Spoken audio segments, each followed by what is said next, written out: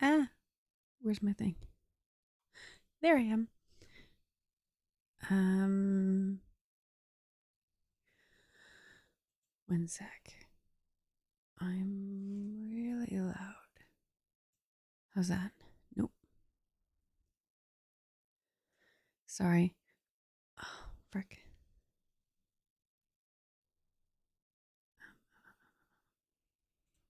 How's that? Nope. I'm having really I'm having severe problems with this today. Hold with me.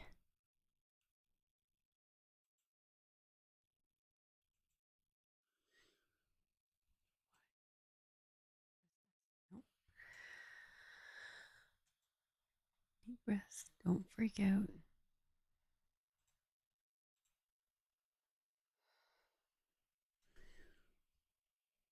It was working seconds ago. Okay. Yep. Okay. I don't know.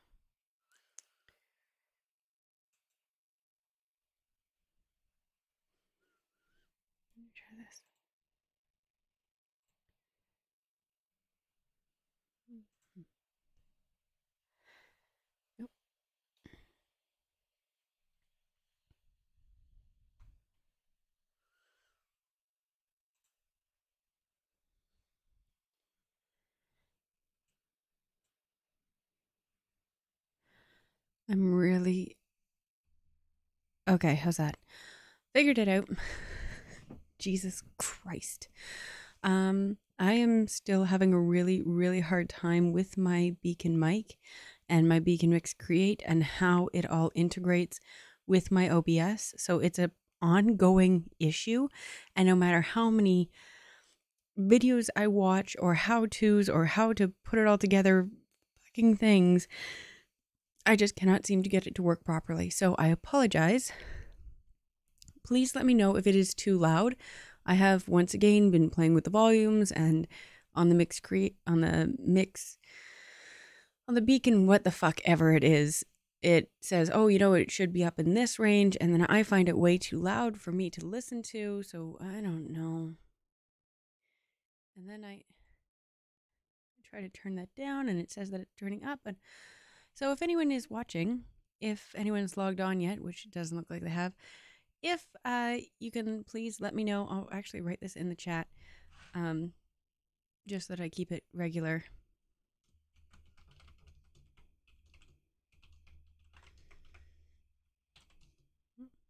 How not who?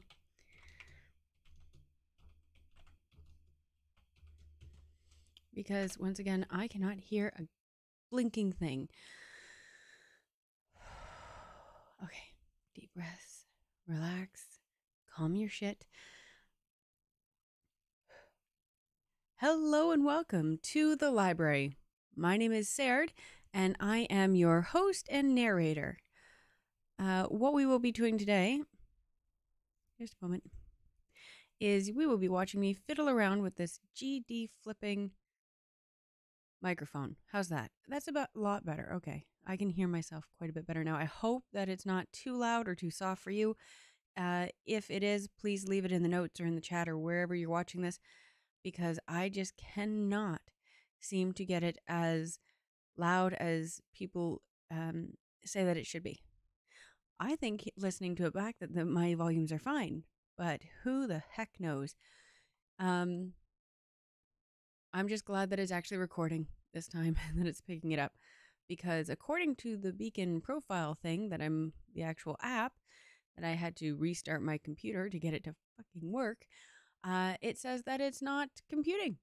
It says that it's not coming in at all, but OBS says it is. So I don't fucking know. okay, just a second. Deep breath. You know? Let me get my crystals on. Let me helps me deal with my shit. Okay. That's fine. It's fine. It's fine. Okay. I wish I could start this over again, but I can't. So we're in for. We're so we're here. Uh, If you don't, oh, let me do that one more time. Hello and welcome to the library. Welcome to our Sunday story time stream. Awesome that I got that out first try. Didn't even think of it. Uh, my name is Sarah. I am an audiobook narrator and podcast host and narrator, voice actor, all that fun stuff with the voice and the reading and the stuff. This little angel right beside me, this white cherub, is Yui. He is currently directly to the side of me and passed out asleep because we just got back from his first full weekend at the cottage and he swam and he ran and he almost got sprayed by a skunk but didn't.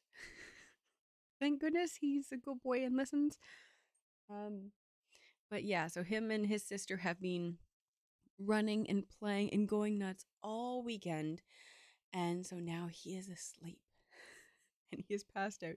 He's one of those um, ones. I don't know if you have um, if you have kids or dogs or animals, because I know some, a lot of other dogs are like that, but mostly kids. You know that when they get to that point where they're so overtired that they don't know that that, that they're tired, so they just keep going, and you have to say no, like strap them to the bed. No, stay there, sleep, and then as soon as their head hits the pillow, they're out Hello, Ghost Wanderer. How are you doing today? How is your Sunday? I haven't just I haven't said yet, but happy Mother's Day to those who celebrate it, and happy Random Sunday in May for those who don't. Uh, we do celebrate Mother's Day. My when uh, when I remember. um, but this was my first Mother's Day as a fur mom. it's a fur baby mummy. So I got a happy Mother's Day. Uh, I hope you had a good day. And if you didn't, if you did get in a fight with your mother, which is normal, I didn't. We had a good day. But I know that some people just find this day absolute shit. And for to those of you who are watching this, I commiserate and I'm sorry. I hope you got through it okay.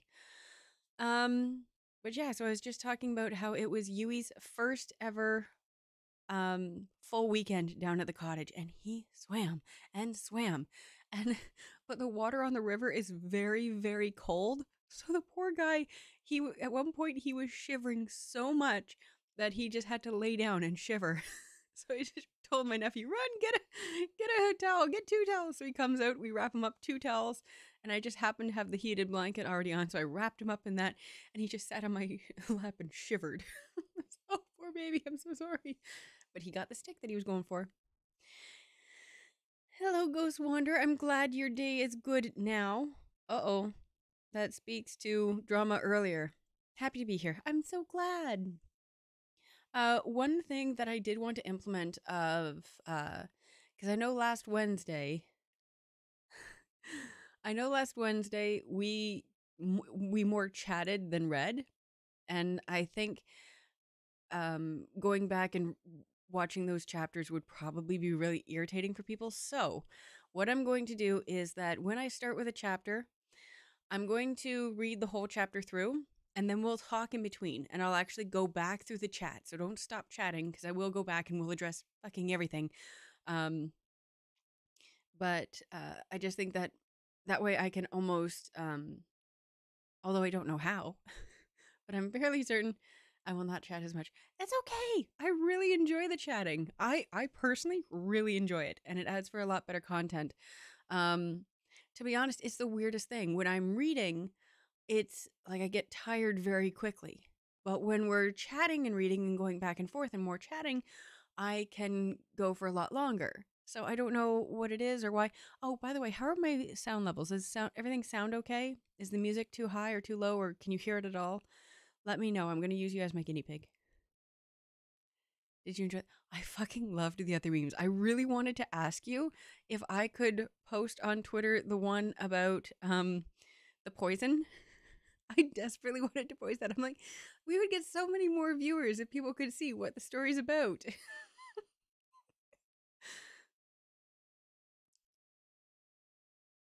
No music. Okay, that's. But you sound fine. Okay, okay, okay. This fucking thing. I. You shut up, bitch. I don't know if you heard that system noise, but let me just see if I can. Okay. I'm going to raise it in increments. You let me know if you hear anything.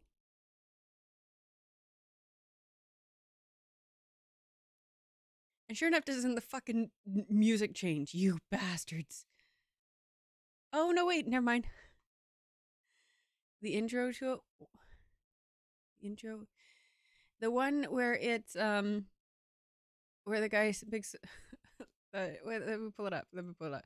I won't post it on here, but I just, because I can't read it. Uh, Discord's opening. Is this? Can't hear the. Well, I figured out why you can't hear the music it's because there's no music on this page. So that's why. So we're to fix that. Uh, let me just pull this up here. This one. My husband is super smart. Yay. My husband poisons people. Uh, I'm into it. Yay. Like that one. I loved that one. I thought that was so good. Although the the one started laughing at Ghost joke, viewers knowing it's going to be another hour pause. Like that's that one had me. I loves that one. So yeah, if I can get permission, I'd like to post that one. I'm not sure if you'd. Let me. Let me. I'm gonna pull this music back down just because I think when we actually go to the page, that it might uh, pop up again, and I don't fucking want it.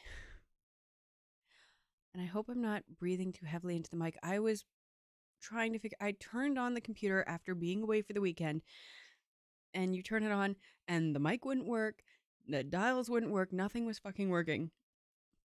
Other than my old system that's not BEACN anything. So who the fuck knows? I need to take deep breaths. I get too ex- I get too wound. Too wound. I'm sorry. I'm really sorry, but I have to say no again. Okay. Aw. Alrighty, so I'm going to go ahead and get started with chapter 13. Oh, let's let's go over to the proper page. This one. Alrighty, so as I said before, I'm to go ahead and it would be anxiety out there. Eh. That's okay. If you don't want your content shown, you don't want it shown, and that's perfectly fine. I don't mind at all. Um, Okay, so I'm to go ahead and read chapter 13 and then we'll chat and then we'll go on to chapter 14. Yes, that's what you want to say. Uh, I will apologize. I myself am too exhausted. Am also exhausted. I too am exhausted. That's what I was going for. Um, so we are going to get through as much as I can. Uh, da, da, da, oh, uh, how's the music in this one? Is it too loud? Again, let me know if the music is is too much, because this bitch be throwing me off. I have it at 9. I don't think I moved it past that. Take a little drink we'll get started.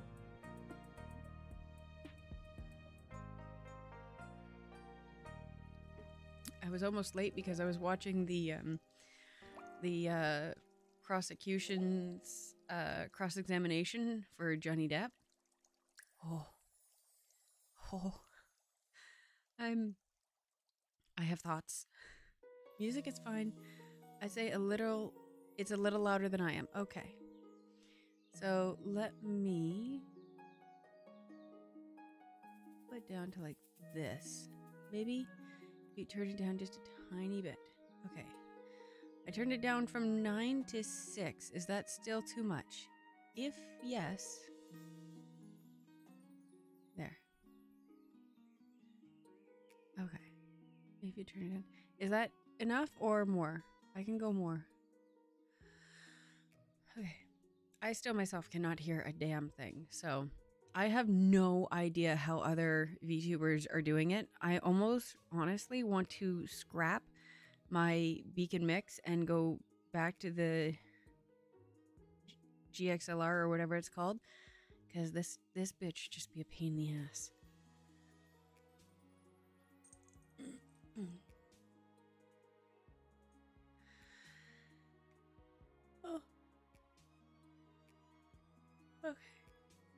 Okay. Is the music good now?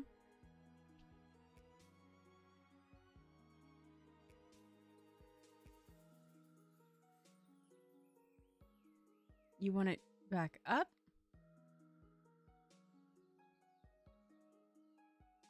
I went from 9 to 6, but I can take it down again.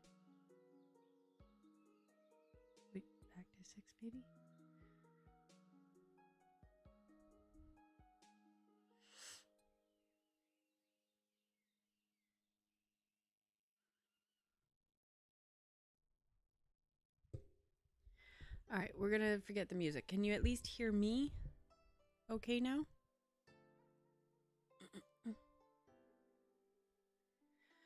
Okay, but you can hear me okay now? Is it still clearer? This is how we do. We mic check, mic check one, two, mic check. Why must messages take so long? Okay. I don't know. Um, is my com- no, it looks like my internet is okay. No, my internet's yeah, my internet's good. Still clear. Okay, perfect. Okay, so I'm going to go ahead with this and we're going to start. Okay, good. Good. Yay. Uh, I wish that I could make it so that the Yui on screen like curls up in like a dog bed. I'd like to get an artist to do that. But I'd also like to get an artist that will allow my avatar to frown because it just doesn't. Unless I go like this, then it's sad. But that's all I got. It won't let me frown. Irritating. I frown a lot. I have a resting bitch face naturally.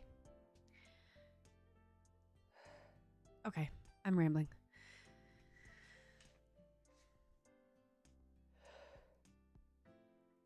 Chapter 13 Has the cruel and stubborn beauty changed her sex for me?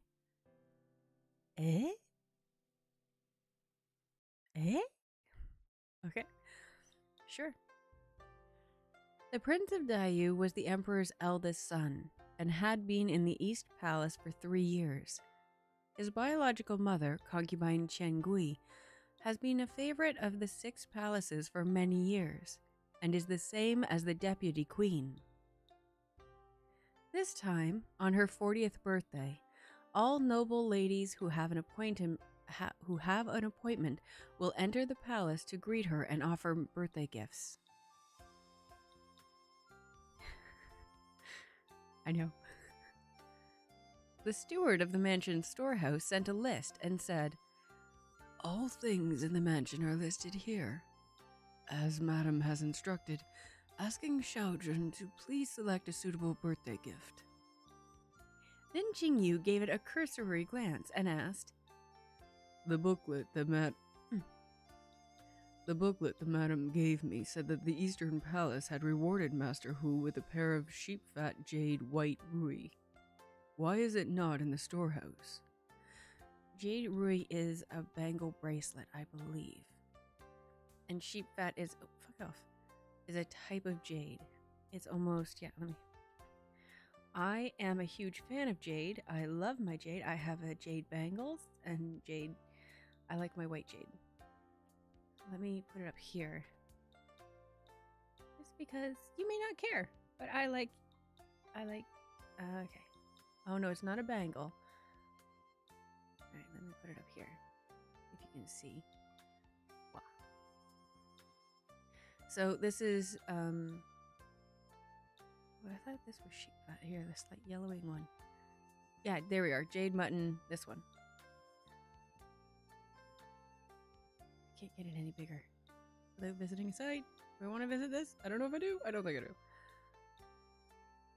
but yeah so it's it's a beautiful milky um regular jade has like um almost a texture with inside the stone but uh this sheep fat jade is very i know sheep fat it's um usually uh called mutton mutton fat instead of sheep fat but not very many people know outside of um uh, how do i say people who who know like uh, ancient Babylonian times type thing of mutton.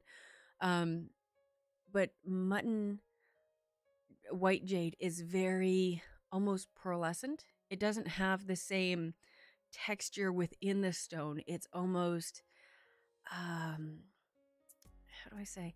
I had a, a white jade necklace before the chain snapped and it just disappeared. Oh, this isn't. This is Haitian jade. This is different. Oh no, sheep fat. Yeah. But no, it. I don't know how to describe it. It's not pearly so much as it has a certain kind of internal luster, which is really, really, really pretty. And it was one of my favorites, but it cost too much, too much for, to replace, even now. Okay, why is it not in the storehouse?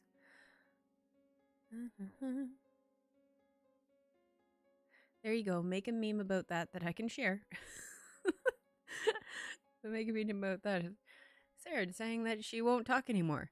Goes on to give us an existential list of uh, a, a rundown of white jade and its different properties.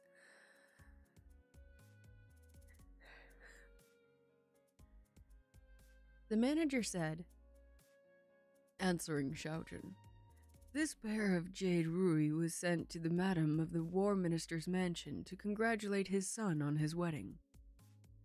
Then Qingyu asked again, And where is the thousand year ginseng given to Chen Guifei? The manager smiled and said, Naturally, it was used to help young master. Lin Qing Yu nodded. I see. You can leave now. Before Madame enters the palace tomorrow, I will have a gift prepared for her. Lang Shi's only requirement for the gift was that it be of equal value. The Nananhu mansion can neither be lacking in respect of the Changui Fei, but neither could they be seen as trying to integrate themselves to her. Especially since the Nananhu mansion and the Empress have even had a relationship by marriage things were becoming more and more delicate. The Empress actually had a son who was born mentally challenged. Mm hmm. he was unable to inherit the throne and was also unable to obtain the Emperor's favor. All this time, he has been kept in the temporary imperial residence. The Empress has always been anxious about her son and naturally she held a grudge against this mother and son pair. Although the Empress was far less favored than the Gwen than Chen Guifei, she was still the mother of the country. While giving a gift to Chen Guifei, the Nananhu mansion still had to keep in mind the honor of the palace. The various twists and turns defied simple explanation. I could never be part of the imperial palace. Like it, it's too much work. That's a lot of effort.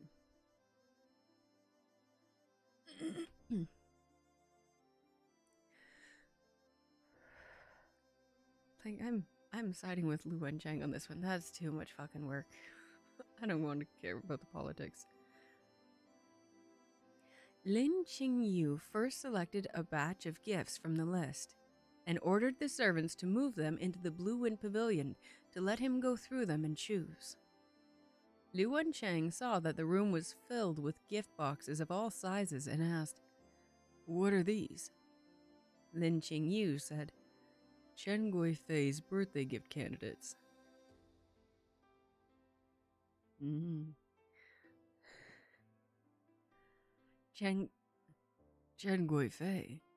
Lu Chen Lu Wencheng had a rare frown on his face. The crown prince's concubine the crown prince's concubine mother? That's her. Lu Wencheng's face changed slightly. When did you get involved with the Eastern Palace? Lin Qingyu told Lu Wencheng about Lang Shi asking him to prepare the gift. Lu Wencheng still seemed uneasy and asked, So you won't be going to the palace or seeing the crown prince?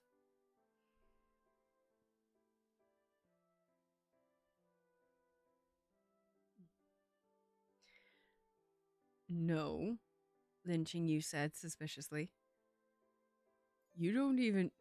You don't ever care about other things, but how come whenever the Eastern Palace is mentioned, you have such a big reaction? Lu Wencheng hesitated for a moment and smiled. That's the current crown prince, the future emperor. Is he not worth me making a senseless fuss over? Lin Qingyu said, the Empress is not your. ran out of breath all of a sudden. The Empress is your aunt, and the Prince is Dimu. Dimu. And the Prince is Dimu. Looking at it from that point of view, the Crown Prince is still your cousin. Lu Wencheng snorted. I do not wish to have his this greatness. Huh?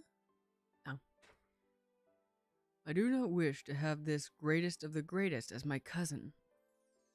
The topic about the Eastern Palace ended here. Lu Wencheng was a bit preoccupied, but he still didn't forget to remind Lin Qingyu. Since the Langshi dares to use Cheng Guifei's matter to create an issue, she probably feels that the time is about right. Lin Qingyu nodded. Don't worry, Master Hao. I do have my own sense of proportion.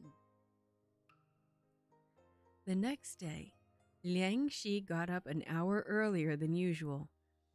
Liu Momo waited on her to change into her court clothes. She asked, Which courtyard? Oh, oh sorry. Which courtyard did Master Hu stay in last night? Liu Momo said, Pan Ying. Pan Yinang's courtyard. Ah, that sounds weird. Just like.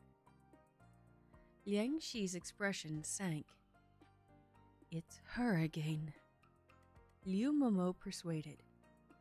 Pan Shi comes from a humble background, and even if her womb failed to live up to expectation, she is not worth Madame getting angry over. It will only be giving her face. That's true. Liang Shi looked at the woman in the mirror, still attractive though getting on in the years. She said, Master Hu could be should be coming to breakfast soon. Go to the Blue Wind Pavilion and invite him to come here. No matter which concubine's courtroom Nanan Hu stayed in for the night, he would always have breakfast with his wife the next day and listen to her talk about some of the mansion's affairs. He would not involve himself, but he had to at least keep abreast of what had been happening. During the meal, Liang Shi mentioned that the matter of the Cheng Guifei's gift. Nanan Hu said, This may seem like a trivial matter, but in actuality it has big implications. Where is the birthday gift you prepared? Show me. At this time, the servant came in and announced, Master, Madam, Xiaojun is here. Liang Shi said with a smile, Speaking frankly to Master Hu, there are many things that need to be done to run the household. I am getting on in the years, and it is inevitable that I am unable to do as much as I'd wish. I assigned some things to the Qing Yu to take care of. As a matter of fact, he has been taking care of the accounts for a period of time. I have also instructed him to handle the matters of Cheng Guifei's birthday gift. He is now, presumably, just for the matter. He is now. He is here now, presumably, just for this matter. There is still quite some time before the morning court. Why not stay a while and see what he has prepared? Nanan Hu nodded. Let him come in. Lin Qingyu walked in, followed by Feng Qin and Huan Tong.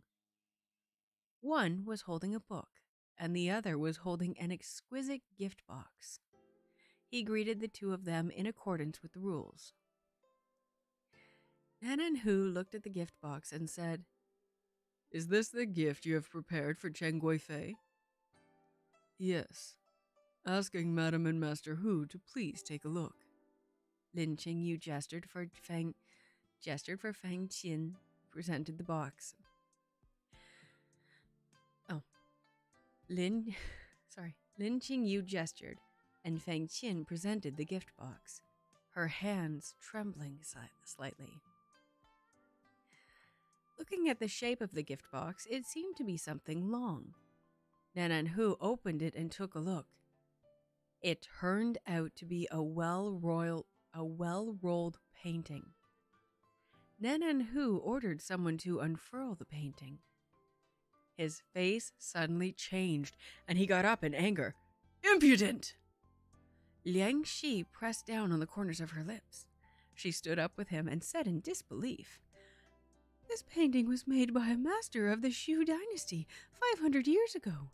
This is an heirloom passed down in the Hu mansion set in the heirloom passed down in Hu mas- Master Hu's family. How can you take it to give as a gift?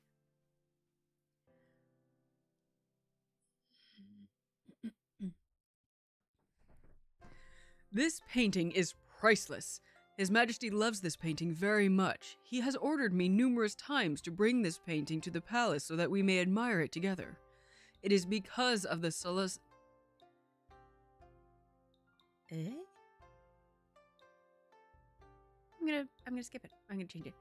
It is because of the favor he shows to his ministers that even when I offered to give him th- this as tribute, he never accepted it. And now you are going to take it to Cheng Gui Fei, the crown prince's concubine mother. Nanan Hu slammed his fist against the table. Towering with rage, he said, There is nothing His Majesty fears more than ministers getting too close to the crown prince. You clearly know this. What calamity. You clearly know what calamity you nearly caused. Lin Qingyu held back his gaze and said, Qingyu wouldn't dare. You wouldn't dare? Nanan Hu was already furious. Who does not know that the son of the Imperial Hospital Panguan is matchlessly intelligent and exceptionally clever? I think you did this intentionally to put the Nanan Hu mansion in danger. Hope that's not too loud. Liang Shi said, fearful at what might have happened. Fortunately, Master Hu looked at it beforehand. Otherwise, in the future, if His Majesty were to see this painting at Cheng Guifei's, who knows what sort of suspicions he may have reg- regarded Master Hu and the Crown Prince's relationship? Liang Shi glanced at Liu Momo, signaling to her that it was time for her to add oil and vinegar, as she was wont to do. Unexpectedly, Liu Momo's face turned flustered. Her finger, her her figure and posture were as extremely up- unsightly.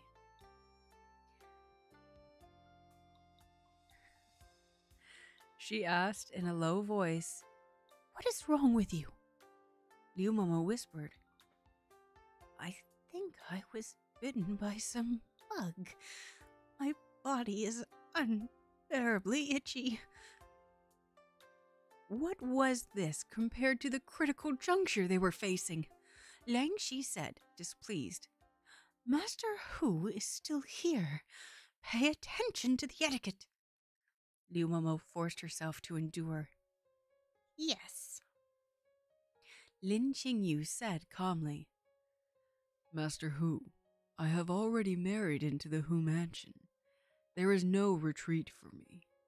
Should the Nanan Hu mansion run into misfortune, it will be difficult for me to escape responsibility. The reason why I chose this painting is because of the madam's command. Liang Shi's eyes widened and she exclaimed, What nonsense are you talking about? It was the madam who said that the gift to be given to Cheng Gui Fei must be of equal value to the rewards she has bestowed. Although Hu and Liang Shi were not husband and wife by the first marriage, they have been sharing the same bed for many years. Lin Qingyu was just a daughter in law who he rarely saw. At this moment, he naturally believed Liang Shi. What she said was right. You do indeed need to prepare a gift of equal value. But then what did you do? Liang Shi, uh, Lin Qingyu said. The crown prince once bestowed a pair of sheep fat white jade rui to the Master Hu. It is too. This too is a relic from the previous dynasty, and would be considered priceless. Its worth is equal to this painting. What sheep fat white jade? Nanan Hu said sternly. His Royal Highness the Crown Prince has never given me anything of the sort. Liang Shi thought intently. I don't remember such a thing either. Lin Qingyu frowned. He hasn't, but it was written in the booklet Madame gave me. Huan Tong. Huan Tong presented the book. Nanan Hu quickly scanned through what was written, and his eyes grew colder. He threw the book to Lin Qingyu. Look for yourself. Where's the sheep? Where's the sheep fat white jade you said? Lin Qingyu tilted his head to avoid it. He. Oh. Oh, two. I, okay, just. Okay. Lin Qingyu tilted his head to avoid it. He picked up the ledger and read through it. Indeed, it is not here. Nanan Hu pointed to Lin Qingyu and said, What else do you have to say? Liu Momo was still struggling with the abnormality of her body, and she couldn't get a word out. Liang Shi had noticed, but to say. Liang Shi had no choice but to say herself, Qing Yu, what is going on with you? You lost the pages of the ledger twice, and today. Oh. Nanan Hu said, The ledger? What ledger? Liang Shi said, It is no big matter. There is no need for Master Hu to concern himself about it. Tell me. Liang Shi had no other choice. She was forced to tell him everything regarding the ledgers. Nanan Hu was even more furious when he heard this. He decided that Lin Qingyu had done everything deliberately. Bring me the rod! Lin Qingyu swept his eyes over everyone and said slowly, There is no sheep fat white jade rui in the booklet, but I clearly remember that there was. Why is that? I also remember that there it wasn't a single page missing from either of the two ledgers. But when it got to the madam, they were missing a page each. Why is that? Liang Shi blurted out, Naturally, it's because you're in proper care. My improper care? Lin Qingyu smiled softly. Could it be that someone deliberately took those pages away? Qingyu, matters have already reached this point, and you still want to implicate others? Liang Shi shook, his, shook her head. With such poor character, you are not worthy of Wan Cheng, let alone being Xiaojun of the Hu Mansion. Just as she finished speaking these words, a thud was heard. Liu Momo, who'd been standing to one side, suddenly fell down. The crazed woman writhed on the floor, tearing her clothes, raving, raving, spewing from her mouth. It was terribly frightful. Before anyone could react, Feng Qin, behind Lin, Lin Qingyu, also fell twitching. She was a girl, after all, and she bit her lip, trying her hardest to refrain from pulling her clothes. However, she kept hitting the ground with her head, boom, boom, boom, like a death knell, hurrying her to her death. Everyone present was terribly scared. Several of the servant girls screamed in fear. Liang Shi, who was closest to Liu Momo, froze and couldn't even move. She stretched out her hand and said in horror, Master Hu! Lin Qingyu said, The pages of the ledger and the booklet went missing in the Blue Wind Pavilion. So naturally, this was done by someone of the Blue Wind Pavilion. In order to catch this person, young Master Hu ordered me to expose the page where the sheep fat white jade rui was written into a special type of was written to a special type of poison. Once the skin comes in contact with this poison, one's whole body will be itchy and covered in sores. Although it poses no threat to one's life, one might just wish they were dead instead. Before that, I repeatedly warned the servants against touching the booklet that Madame sent.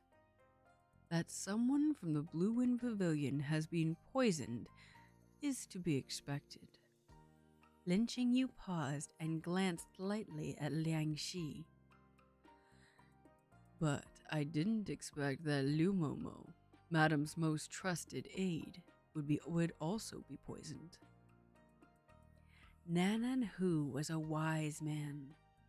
Stringing together the previous coincidences, he already understood. He turned his head to look at Liang Shi. Liang Shi was dumbfounded. Master Hu, I don't know anything. I don't know what's going on. Hitting upon a plan. Hitting on a. Hitting upon a plan in desperation, she retorted with a countercharge. Lin Shi must have deliberately poisoned them to frame me. Lin Shi, how could you possibly have let me down? You have re- re- you have resorted to such cruelty. Lin Qingyu sneered. He walked up to Feng Qin and looking down at her asked, It's unbearable, isn't it? Feng Qin had bitten her lips into bleeding. She struggled to say, Xiaojun, please. I can give you both the antidote, but I want to know the whereabouts of those missing pages. Understand? Liu Momo had already scratched her sleeves to shreds, revealing a large part of her arms covered with sores. It was a ghastly sight, and it sent a little maid who saw it retching. When she heard the word antidote, she couldn't attend to anything else. Madam, Madam had me burn them. Liang Shi shook her head, still quibbling. No, Master Hu, I, I didn't. And she, this, this confession under torture, you can't believe him, Master Hu. Lin Qingyu said. If Master Hu is unconvinced, you can question the manager Wong in the co- accounting office. He hasn't been poisoned yet, and he is sober. With Master Hu's impartial and incorruptible means, you will surely be able to find out the truth. Nanan Hu closed his eyes and said, Come drag these two crazy women away. After Feng Qin and Liu Momo were taken away, the room grew silent. The servants were afraid to even breathe too hard. Until the steward of the Hu mansion reminded, Master Hu, you should go to court, and Madam, too, should head to the palace. After such a commotion, Liang Shi's hairbun was scattered and her makeup was also spent. The mistress of the household cut a very sorry figure, and she had lost face.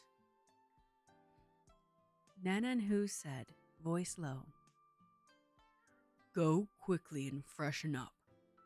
Choose a gift to give to Cheng Guifei. As for the rest, we will talk about it when I return home. After speaking, he walked away. After Nanan Hu came back from the palace, he personally and privately questioned Manager Wong of the accounting office. No one knew all the facts and what had actually happened. The people of the mansion only knew that the madam knelt all night in the ancestral hall and fell ill the next day. In order to let her recover from her illness, the master handed over the affairs of the mansion to Lin Shi Xiaojun and Pan Shi Yiniang. The results of this matter were not much different from what Lin Qingyu expected. Nanan Hu paid particular importance to Face, and Liang Shi as his wife, after all. On the surface, he would not do anything to her. But everyone knew that the power in the Hu mansion was about to change. After this incident, Liu Wan Chang's body gradually recovered, returning to the point where he could get out of bed. The medicine he drank every day also changed. Hua Lu gave him de- the decoction, and smelling it, he could tell that it wasn't his usual medicine. Dr. Zhang changed this prescription? Hua Lu replied, No, this is Xiaojun's medicine. Lu Wencheng heard these words and suddenly sprayed out the medicine he had just taken. Then Qing Yu came into the room just in time to see this scene. Laughing, he said, You can't even drink medicine anymore. Lu Wencheng had a coughing fit, and Hua Lu was busy cleaning up again. Lin Qingyu never showed mercy with his words, but he walked to the bed and sat down, stroking Lu Wencheng's back, mollifying him. Lu Wencheng smelled the very faint smell of parchment and ink on his body, mixed with the fragrance of medicine. He seemed like some medicine picking immortal straight out of some book. Because Lu Wencheng was too lazy, too lazy to do anything, too lazy that when he does things, he often ends up in a daze and finds himself observing the people around him. He has mastered the ability to weigh a person's words and observe their facial expressions. For example, now he could sense that Lin Qingyu was in a bad mood. The feeling of coldness surrounding his whole body could make people retreat three days' march. He didn't dare be rash. He asked cautiously, Qingyu, why are you changing my medicine? Lin Qingyu said lightly, Why do you think? Lu Wencheng waved at Hua Lu to leave and then asked him with a low smile, Do you think I'm taking my sweet time dropping dead? Lin Qingyu sneered. Yes. Lin Qingyu, Lu Wencheng let out an, Oh, and picked up the medicine bowl, drinking down all the medicine in it. Lin Qingyu's brows furrowed slightly. And why did you do that? Lu Wencheng licked the corner of his lips and said, If you really wanted to poison me, you wouldn't have waited until now, let alone let Hua Lu know about changing the prescription. You think Dr. Zhang's prescription is no good, so you changed it to a better one for me. Lin Qingyu suddenly stood up. You think you're so clever. Drink it if you want, don't drink it if you don't. Lu Wencheng grabbed the hem of his clothes to prevent him from leaving. Are you angry again for the umpteenth time? No. Seeing you puts me in a bad mood, that's all. Lu Wencheng earnestly thought back on what he had done recently. Innocent and confused, he asked, What did I do wrong? Then Qingyu remained silent as he thought. Lu Wencheng was right. He has never said that he wanted to live longer, that he would not be able to participate in this year's Imperial Medical Office's examination was because he himself had momentarily been overcome with a bout of soft heartedness, of foolishness. But if he admit but if he missed the exam this year, he could still take the exam three years later. But Lu Chang only had this little bit of time left. When a person dies, there's nothing left. Lin Qingyu's tone was a little slow. This prescription was given by my father. I made improvements according to your situation. It can't save your life, but it can make you live for half a year longer and make your last days less painful. When the time comes, you won't cut such a sorry figure. He has met many pe- people driven to the brink of death because of illness. No matter how much dignity they had before, when that time came, none of them looked very good. They could not accomplish their day to day activities by themselves. They had to rely on others for everything. Lean as a rake, ashen and beaten, waiting until their oil ran out. People like Lu Wencheng shouldn't wither away in such torment. However, Lu Chang didn't care whether he died in torment or not. You said I'll live half a year longer? Lin Yu lowered his eyes, not looking at him. Yes. Lu Chang's eyes moved slightly. His Adam's apple rolled up and down. Yu. He called out his name and fell silent. It made Lin Yu feel embarrassed. Don't get me wrong, Lin Yu said. Human life is the most important thing. The virtue of saving a life is worth more than a thousand gold. Since I'm practicing medicine, I can't stand by and watch an innocent die without trying to save them. Lu Chang spoke again, his voice a little muffled. But you can't save me. I know. But as long as I try my best, I will have a clear conscience in the future.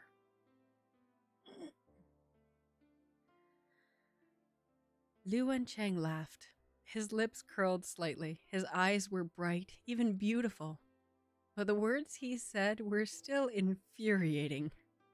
Yeah, yeah. Has the vicious and merciless beauty turned bent for me? Lin Qingyu couldn't hide his disdain and refused to concede. Young Master Ho really does think too highly of himself. Lu Chang stood up straight, leaned into Qingyu's ear, and said softly, Qingyu, thank you. Lin Qingyu wasn't used to his sudden approach. His expression, as cold as Bingling's face, was stark was shaky under the eaves, and he said, Do you want to drink this medicine or not? If I don't drink it, wouldn't I be betraying your good intentions? By the way, Lu Chang seemed to remember something important. Can this medicine make me carry you? Lin Qingyu didn't understand why Lu Chang was so entangled in this matter and raised his eyebrows slightly. You really want to be able to carry me? Lu Chang nodded. I really want to. Lin Yu sneered. Don't think about it. It's impossible for you in this life. Author's note If you can't do it in this life, let's do it in the next. Stop. That's Yui. He's barking because his sister's barking downstairs. Yui. No. Shh. You're beautiful. So yeah. I'll go that Twitter. But yeah, it's so cute. It is so cute. To see them I I wish that I had edited this better and that I had seen where there was the page break so that I could have paused because I felt like there was too much there was a lot of heavy emotion um or there was a, it was a very different emotion from when he's poisoning people versus to the cutscene and then where he's interacting with Lu Chang but I really like the juxtaposition between the two versions of Lin Yu. So you have the version where he shows him like the self for everyone, where he's like, I'm gonna poison a bitch and cold and distant and and I don't care that you're rolling on the ground in agony. And then he goes back to Lu Chang, who he proclaims he actively dislikes, which is a lie. And but he's rubbing his back and making him medicine, and you know, I can give up however long of my life that he has left before I go on with my own ambitions. And yeah, that was that was really cute. I love the two of them together. of, co- of course, Lu Chang has to ruin it, but Lu Chang is such a millennial. I feel well, not a millennial, but a modern person. Is so funny. Okay, let me go back to. I wasn't sure if I was yelling too loud because in my microphone, because I was fiddling with the levels so much, it's really, really loud in my own ears. So I wasn't sure what I was projecting versus what I was hearing was in truth because the music is still um, wonky. I know it got emotional there. uh, now the fact, not even gonna die once and come back, you gonna die twice. Yeah, he does. Yeah, it's like a day of the week thing, right? Three days, two nights. So, yeah. I wonder though, did he die? Because it's not been, I have no idea. I wonder if he died in his first life. He had to, right? That's how you transmigrate. You have to die in the first life. Isn't that how these things work? I don't know. I, I feel like that's how it's supposed to work, that you have to die. Three deaths, three lives? I don't know. I don't know. The real bitch would be is that if you get to your third life, you live it out with the person you love, Lin Qingyu, and then when you get to old age and you both die of natural causes, hopefully, um, if he goes on, if Lu Wen Chang keeps going, that'd be sad. I hate that. Hi, baby angel.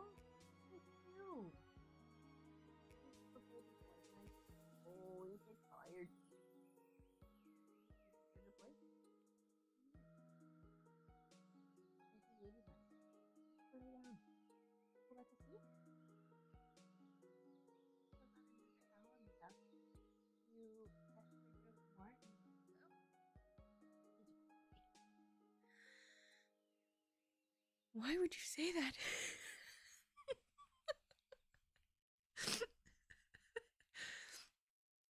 That's one thing that I never believe when you see those um this is last life because I say so.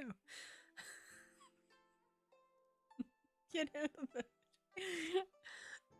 Well, that's I never believe or understand. I could never understand a person who wishes for immortality cuz that would be that would just be shit. That'd be more of a curse than a wish. That is not something you want.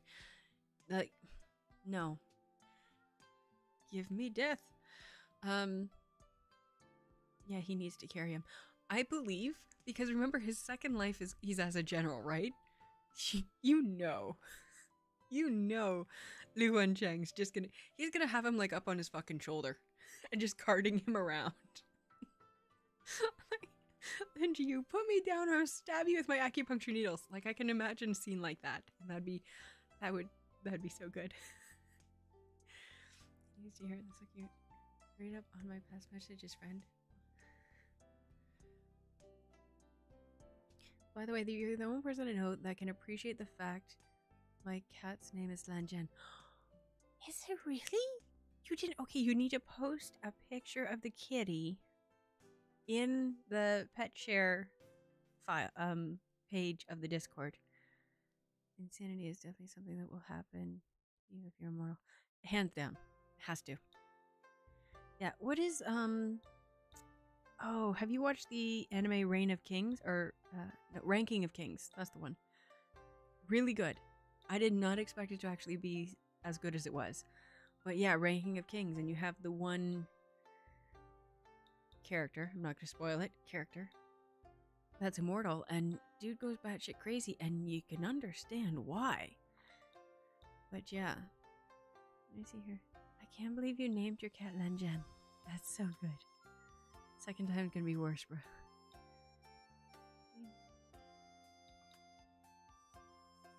I'm not even gonna die once.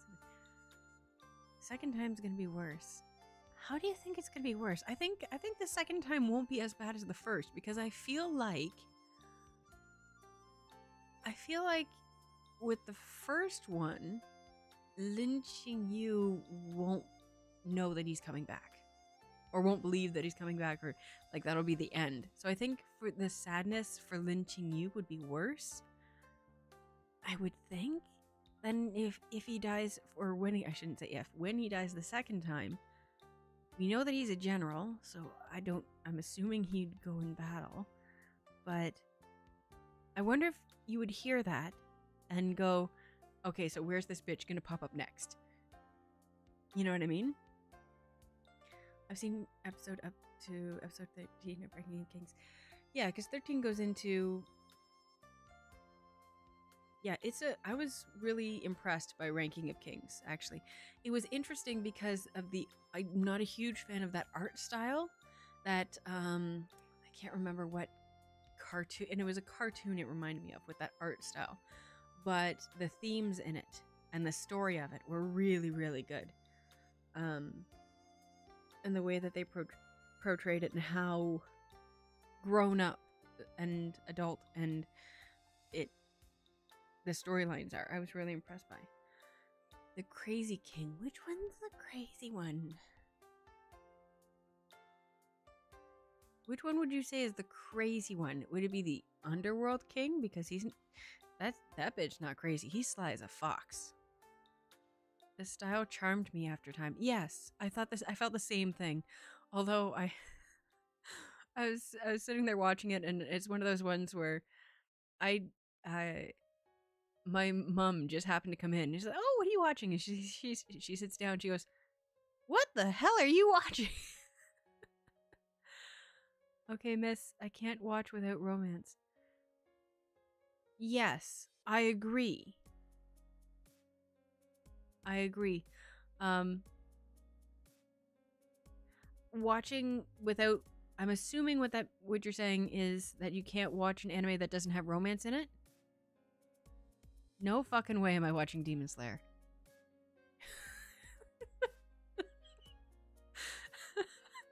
I think I think I think I just used my inside voice outside. Um I watched Demon Slayer. I watched the first season and I think possibly the second. I watched up to him meeting the rest of the Demon Slayers. That's what I watched up to. Um I liked the art style. I liked the story of it okay. I thought the story was out honestly a little recycled. I felt that like I'm watching it I'm like I've seen this before. Haven't I seen this before? And it was like at least two other an- animes mushed together. Um uh yeah, so I liked the art of it and the characters are cute, but I just feel like there's it's just season 1. I just you um, know I'm of the opinion. I know, I know. But I'm of the opinion, just opinion that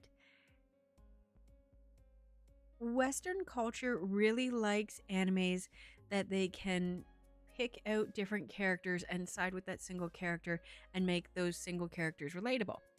And so we tend to find one thing that has a lot of bright colors and fun voices. I know, I'm sorry. And and market the shit out of it. I'm sorry. I'm sorry. Um it's not I will say this. I think that it's better than if I was going to rank the top 3 most hyped perhaps not overdone, but most hyped animes in the West right now, number one, in order of goodness, I have to say, in order of goodness. Uh, wait, before I say this, I can never remember the name of the third. Let me just pull this up here. Uh.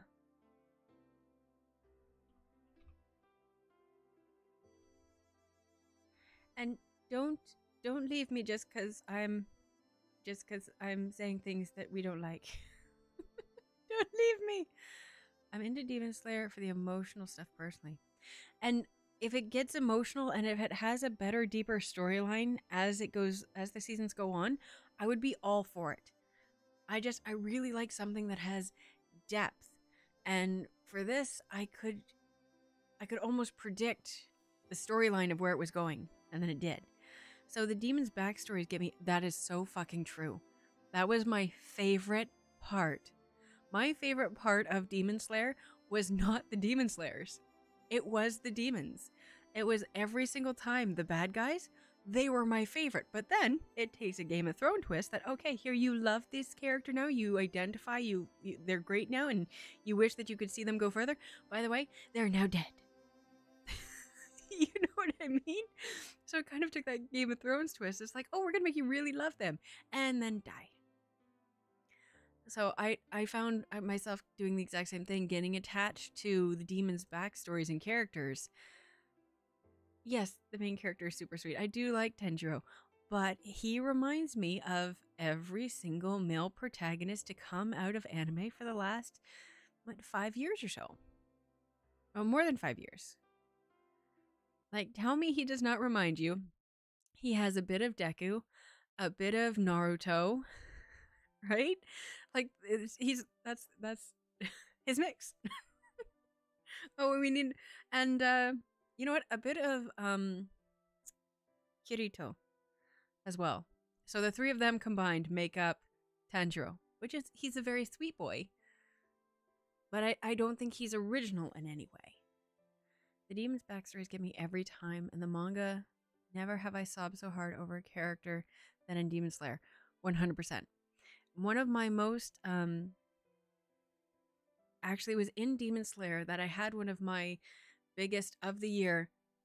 That person deserves an Oscar for that acting. The acting and the art and the storytelling of it was so fucking on point. It was spectacular and I cried too, like a baby. But at the same time, I'm like, it's only the one. you gave me one. Uh, let me just see this here. I'm trying to find. I'm going to type in something mean and see if it pops up.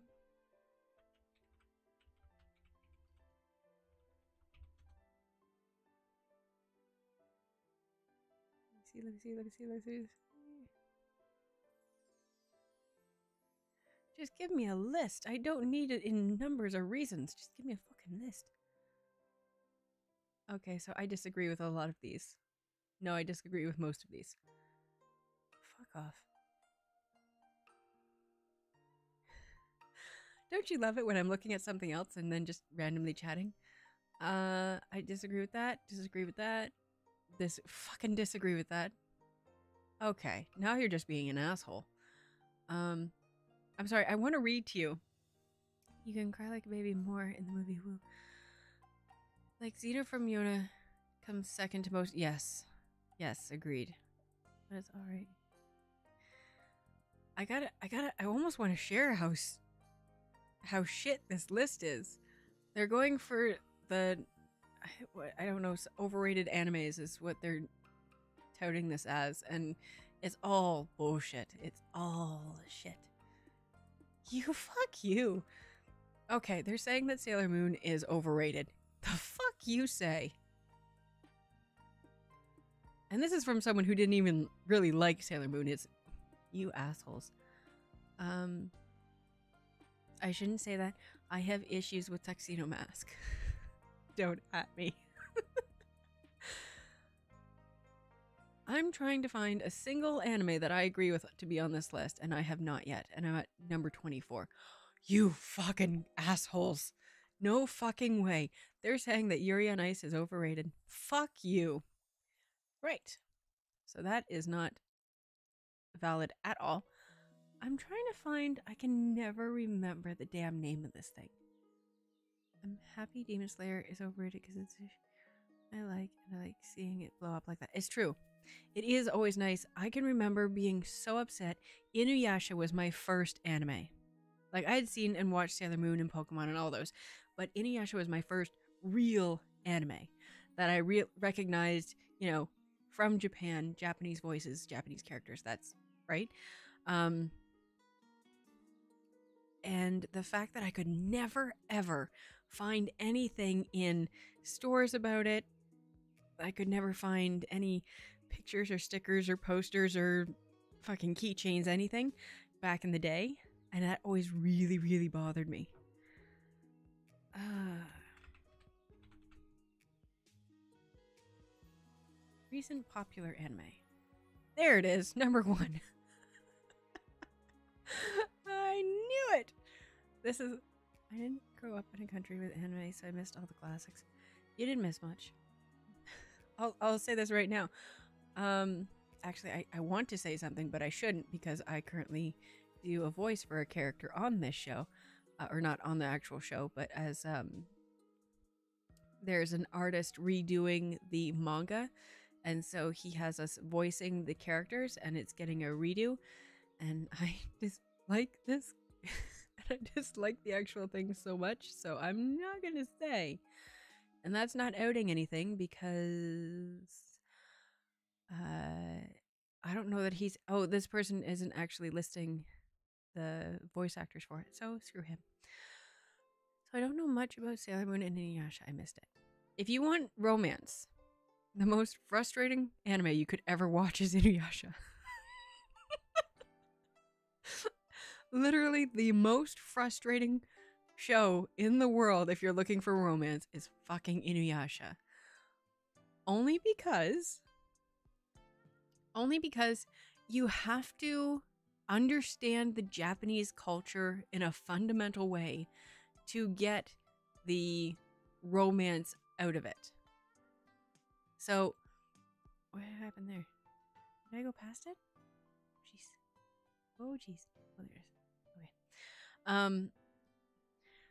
So, like for Inuyasha, it is something crazy, like 174 episodes. A lot. It has a lot of filler episodes. I personally loved the filler episodes because you're just you're watching the characters go about like their day to day lives. Um, 174 or so 175 or so episodes and they are from a japanese perspective uh, they are together inuyasha and kagome are actually together like we're dating but we're not going to label it as anything by like episode like 10 or so if that or before that um I can I know the actual episode where it's like where the Japanese the the undercurrent is the subtext is saying that they're together, but there no one's no one's saying it outright. And then he's he's they, they oh, you know how I was saying before that uh for Spirit Pact the the director changed what the author had put, right? Or what the manga artist or whatever, um, the original writer had created. And so the director wanted to change that. With Inuyasha, it was a similar thing. But here's the weird bit. And I've gone back and watched all of them over, all of the episodes over again to see if this is true. In the original ver- version that aired, originally, like the ones that you stayed up late to watch, is different from the ones that they now say is the ones out of the library. Like the the actual episodes that you can find on Funimation and Crunchyroll and that. Different. Different things happened. There was oh. So I went back to look. And apparently it was a fill they were filler episodes that this is how the directors or the production team thought that the story was going to go, and it didn't, but they aired that anyway. And so, when me, my understanding of the story was vastly different, then so what happened was they didn't publish, they didn't keep the filler episodes for at least the beginning of it for Inuyasha's relationship with Kikyo versus Kagome and all the things that went on as a Again, the fucking love triangle. I didn't even put that together, but the fucking love triangles again. And so when they were putting it out to stream, yeah, they just completely cut out those old episodes. I'm going, oh, wait. There was this really awful scene where you got a, I got a different fucking Inuyasha. There was a scene, and I remember it because it had such a huge impact on me because I have very little trust in people in relationships.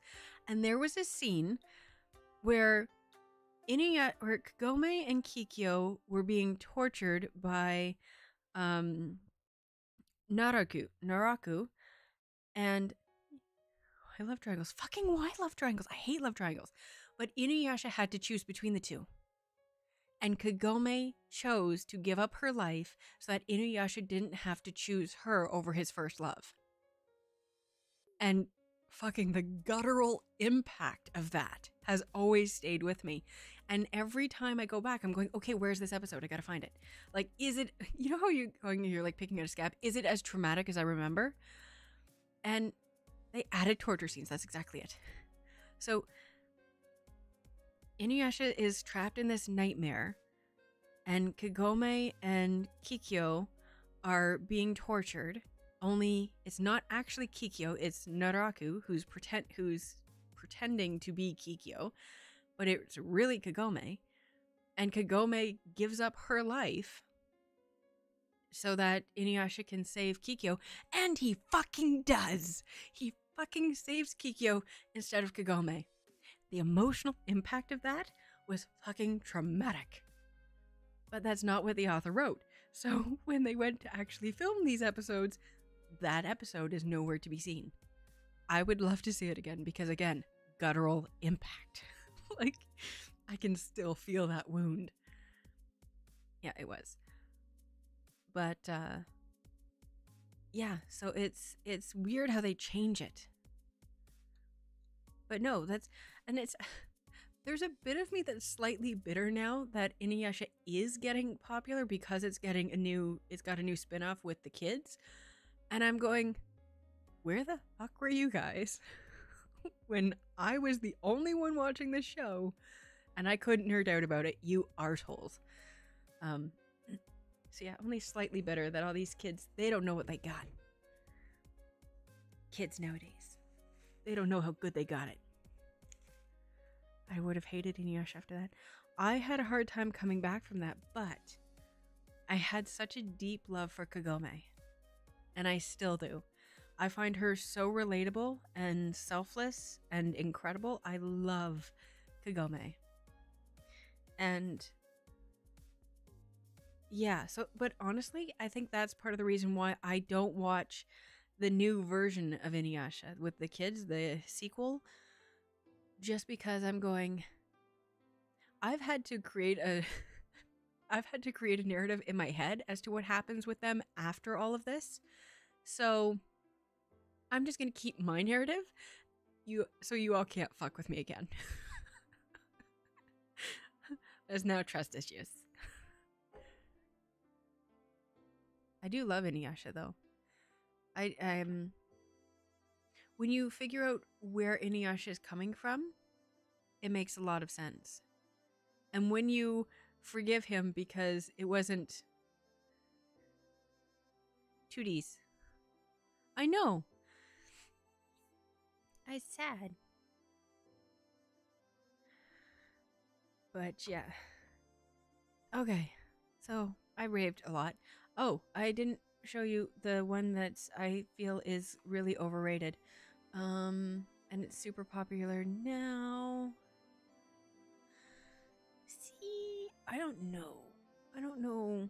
I honestly, if again, I'm if it doesn't have romance and a specific kind of romance, I don't then I watch it. Most popular. Where are you, you bastards? Anime trending? No, no, no, no, no. Where is are you serious? All that. I know you're in here. I just can't pronounce you. Finding the most popular isekai. Oh no, not isekai.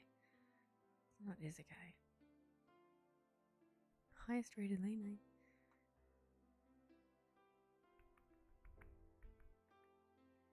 Is it this one? Nope. Where the shit are you? trapped in a dating sim. I don't know. It's not that one. These my favorite popular sports animes. What are these? I love a sports anime. Oh, that's the one. oh my god. How did you know? That's what I'm trying to find. I don't know why I could not remember that. Like at all, could not remember. Are you a big fan of that one too? I'm sorry, Ghost. I'm sorry. The biggest plagiarism scandals in the industry. One of them is Demon Slayer. Someone taking from Demon Slayer, not Demon Slayer taking from others. but yeah, Jujutsu Kaisen. Now, in saying that, this is the only new popular one you wouldn't know the name of. Yeah, that's exactly it. Um, I found it entertaining for the first few episodes, or uh, for the first, I think I, I watched. I always give them at least a season. So I found the first season entertaining, but I didn't find the characters pulling me back in because I felt like I knew where it was going to go. Um, and also, where's the romance? I didn't like, I wasn't as pulled in by their side characters as I wanted to be. I liked the other male, the guy, and I kind of liked the stabby girl, but I couldn't. This is how good I am with names. um, the stabby girl, you know who I mean. But yeah, I I don't know. I love the character design though. Hands down, love the character design. I don't know. Okay, so I'm so sorry.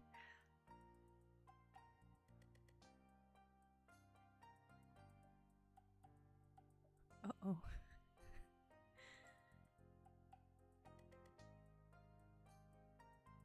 Uh huh. I'm worried this is going to turn into a roast. Both have side characters you don't like at first. Um.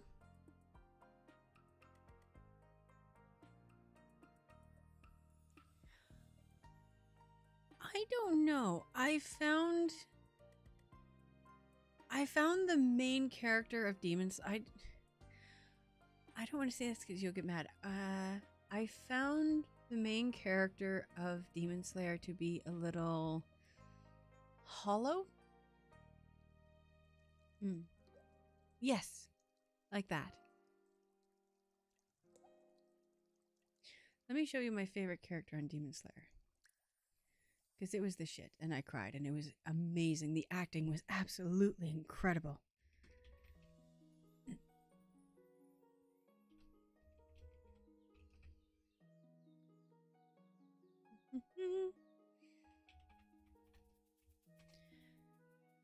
Actually, yeah, now that I think about it, my two favorite characters were were the demons. But even that I'm I'm keep I I'd like to like it, but I'm not obsessed with it.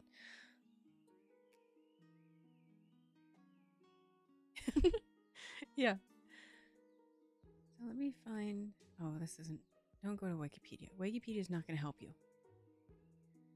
Watch Demon Slayer on Netflix. Funimation. IMDb might have it. I don't know. Um, but the three most popular, and I wouldn't. No, I'm not even going to go there because I really like the one that I would say is the most popular, and I don't think it is overrated yet. You hear that? Mm hmm. My favorite Demon Slayer characters are a demon you haven't met and because he grew on me. He does grow on you. I just I thought that the trope of him having a girly face on the other end was a little odd. like out of all the things you could choose, it just struck me as weird. Is that the one? I don't know. Now, I did like some. So I I know a few um, uh, Japanese legends and stories and that. So I did really like how they incorporated some of the older legends into the stories. For instance, the training montage at the beginning of him learning from the spirits of past, like that one was really interesting. I liked that one. But at the same time, I also thought it went on a bit long. I'm trying to find where are you, bitch? I also don't like the bad guy. He's he's a real baddie. Doing that to children, you assholes. Is this the one? No. Maybe? Sorry, I'm looking at Oh no, this is the one.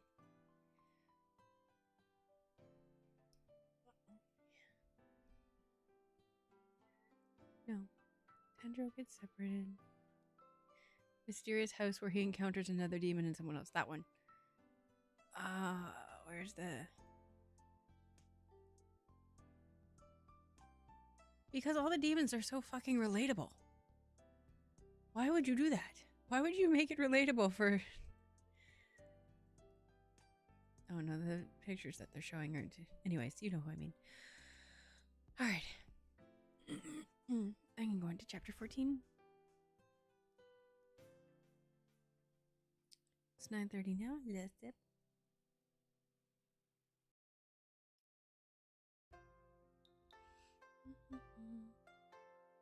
Mm-hmm. Mm-hmm. Mm-hmm. Yes, that one. Yes, how did you know? That is exactly that is both of them. Oh my god. Oh pain. Mhm. Yeah. Who is okay, who is the one? I could probably tell you who they're voiced by, but I can never remember the actual character name. Um who is the one? He was the white haired boy at the beginning. He was one of the ultimate assassins. He ended up killing his entire troop so that they would stay with him always. What was that one?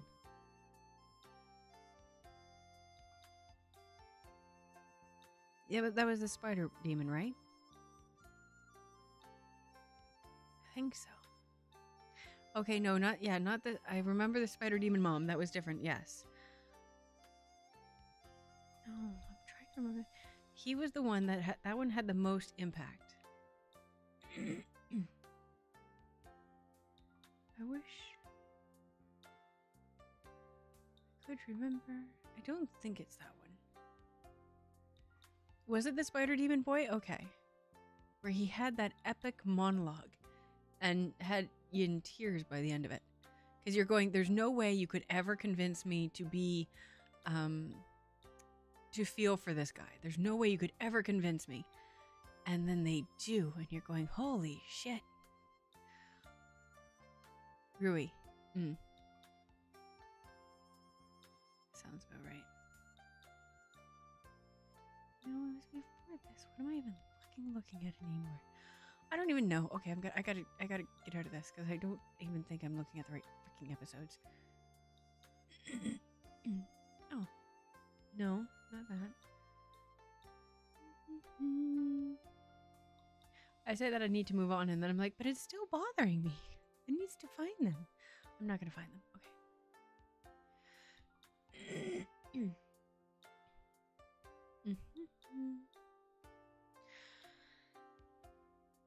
Yes. Okay. See, that's what I love about Demon Slayer. Where we should go. Nah, I hate this guy. Never mind. I'm sobbing for hours. Yes. And and it's true. It it um. But I worry that that in itself is a trope. Because now you know. You know that all the demons are going to have their own reasons, that they're not strictly 100% bad people all the time, which, you know, Buffy. But at the same time, the ultimate bad guy, I think he is the ultimate bad guy and is the big baddie.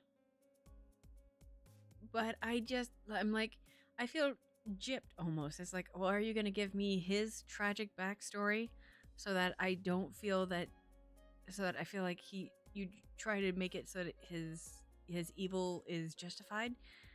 Not all of them. It's true, not all of them. But the ones who give um, Tanjiro the hardest time. Would that be accurate?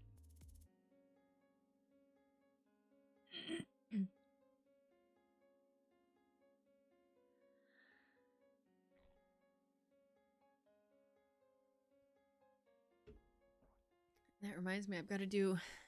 So we're doing this tonight, and then I have work tomorrow.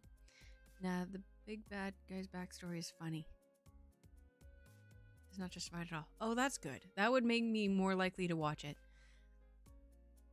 I don't like it when it's almost like they insult the audience's intelligence by going, oh, yes, they did evil, but there's a reason that they were so evil. And that's not.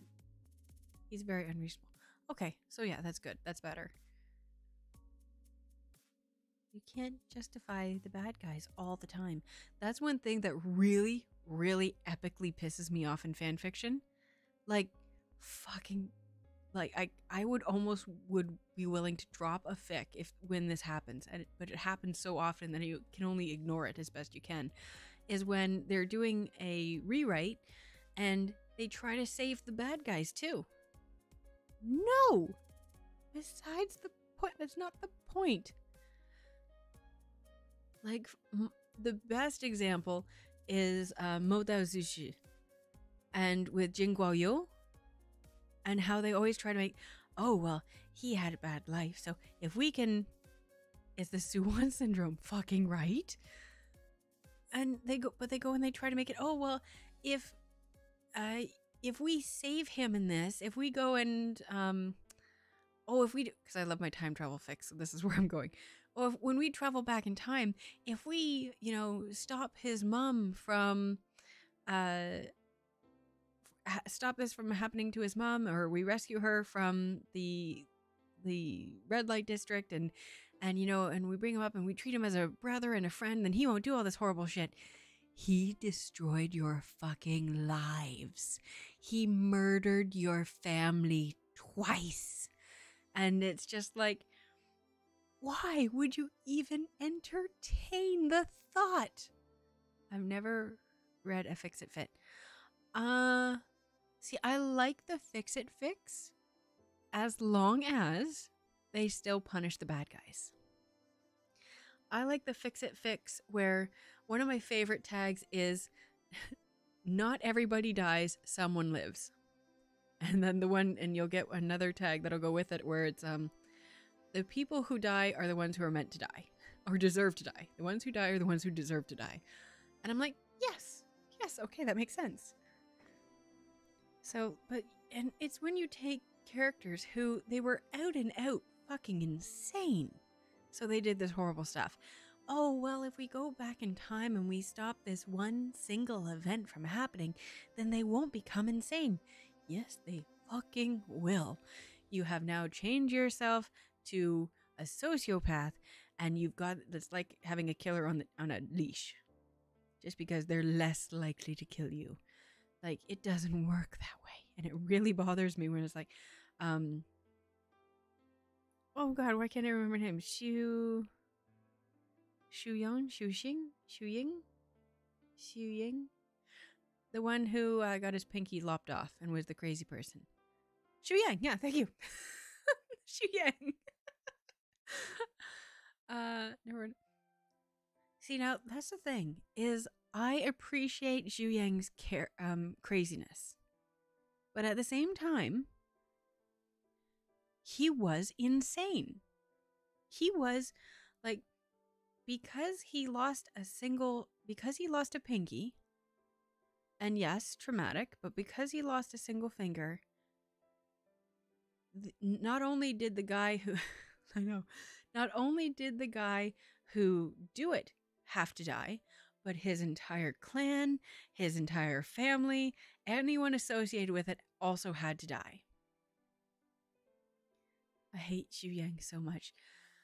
And that's it's absolutely fair. He is he is a great character because he's the ultimate bad guy. There is no redemption there right? So you're free to hate him because he only did pure evil and there was zero um uh there was zero reason for it. He was just fucking nuts. It's like suwon hate him because he had other ways and he chose death. Like he chose the evil way out to get what he wanted. But no zhu yang is um xu yang uh i thought the acting was really good in the untamed I thought it was really good. His craziness and his love for um is it Shang Shang Chen Chang? Shang Chen Shang? Is that I feel like that's wrong. Shang Chang. Hmm. eh, But you know who I mean. Um his love and his admiration for the guy who was hunting him down was obvious and i thought it was really well played out and it was very very good um but yeah so untamed did very very fucking well there was only i think one scene that i remembered from the original novel as I was like, oh well, that would have been cute if they could have made that in. But it was only one that I that stuck out to me. You know how you're reading books like, oh, but you didn't add that, but you didn't do that. Oh, they were supposed to go over there and you didn't do that. And how did you manage to get them over here if you didn't have that scene? And they're missing a whole bunch. The Untamed did uh Mo Thou so well. Yes, yes, I has. Um, I'm I read it when it was still being translated originally. I um have the the paperback copy. Sorry, I have the paperback copy and I have the um uh the EPUB file copy for my e-reader. So I just wish they didn't add that god awful ugly giant dog. Which one? The one where he's in the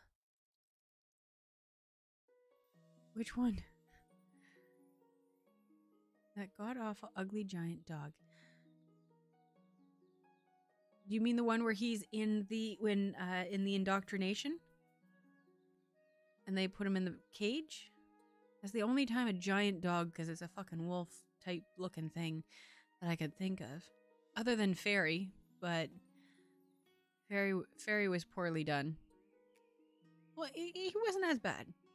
I hated when he's locked up. Yeah, so when he's in the indoctrination with the Wens and uh one honestly, one of my favorite scenes that was and it wasn't in the book was in the um was in the Untamed and I or I can remember watching it going I wish that had been in the book and that never happens. Like you never see that. But it's the part where the Wens are um Wen Chao is trying to you know, you will recite the Wen indoctrination and the, the and recite out of this book word for word. And in the Untamed, when Wei Ying stands up and starts repeating the Lan scriptures, oh, I, I think that was the exact moment I fell in love with him. and I was like, oh, I wish that had been in the book. Actually, if you want, let me. I've, I've got I've got one for you. I've got one for you. I've got a fanfic recommendation for you because I've been reading this. It's been updating slowly. It was just so good. I think I'm watching that. I'm going, I love you so much. And the look on Lan Zhan's face when, because that mem- moment meant so much to me when you know what's going on. So like even if you've if you haven't read it but you've watched the full series and you go back and you see that moment, the acting, uh, Wang Yibo's acting was so fucking good because remember, his father has been killed. His brother and uncle are missing. His home has been burned to the ground. He has no idea who is alive and who's not, so he doesn't even know if his brother's alive or dead. Everything's been taken from him, and he's standing there with, and all he has are the rules that he grew up with and his Lan forehead because the sword's already been taken away. Like the, and he has his forehead ribbon. So for Wei Ying to go and, and recite the rules, the the few lessons that he actually learned from from Gusu, and the look on his face. I'm like, oh, he loves you. it's like, Ying, you did so good there. Let me. I keep getting distracted. I have to. I have to recommend you this this fic. You say you've never read a fix it. This is this is one that you absolutely have to read. Um, actually, let me look at. I hope think it'd be faster to look through my saves. Um, I can't do that, can I? Series bookmarks? I think I bookmarked it. Oh, a few lessons that he actually learned. I know. Cryptids are not permitted in the cloud recesses. That one's a cute one. Uh, this one. It was actually it was one of the first one that pops up. Okay, I'm gonna recommend. I have to recommend you this fic. You like happy, right? You like happy fics? I think that's what you said.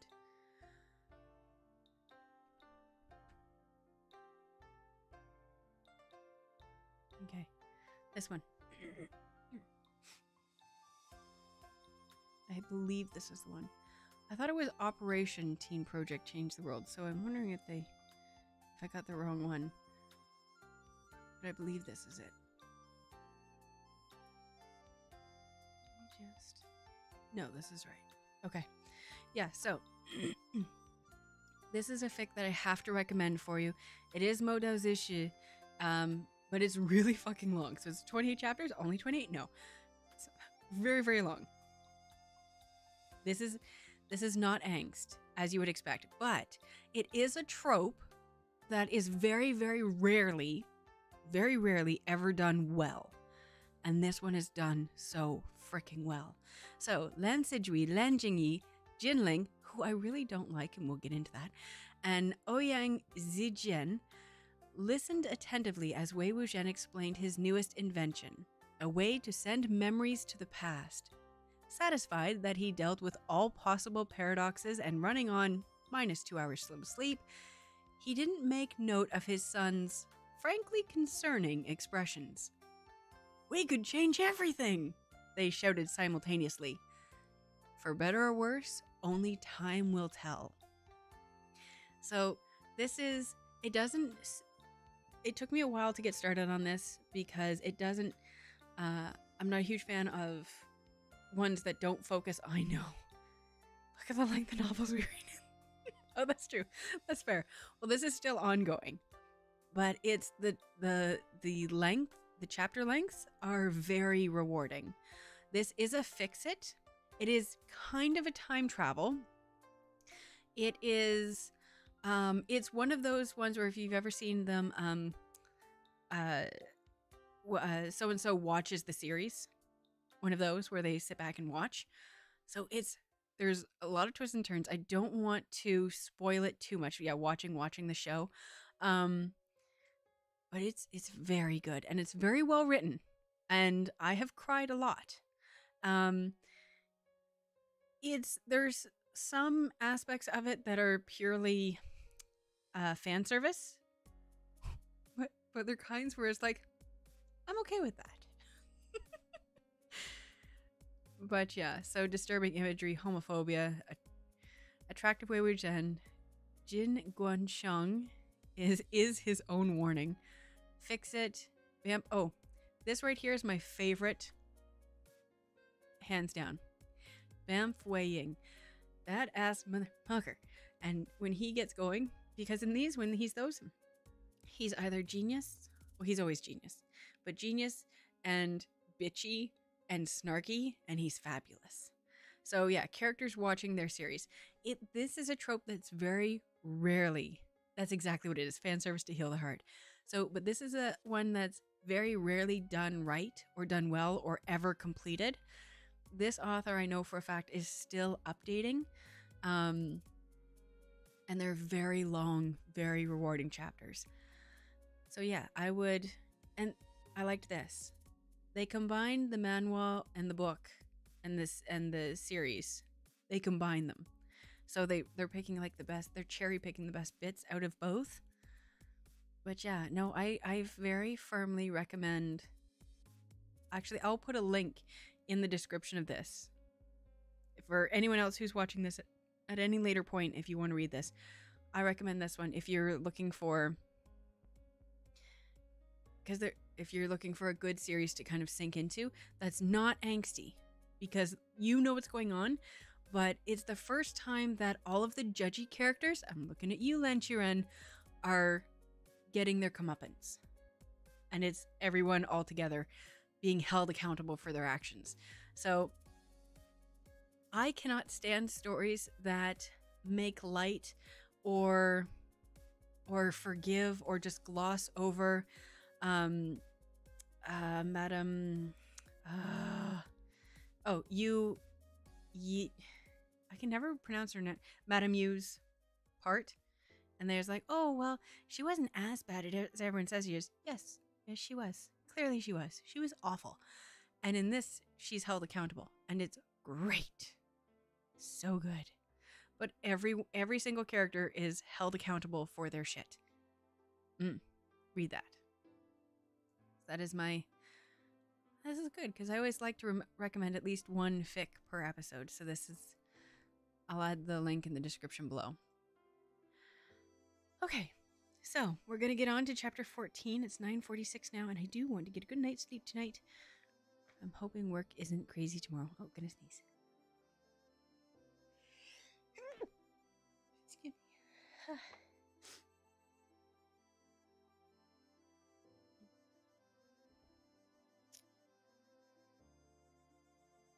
You fool, you've fallen for my trap. You've exposed yourself to your traumas. Which ones?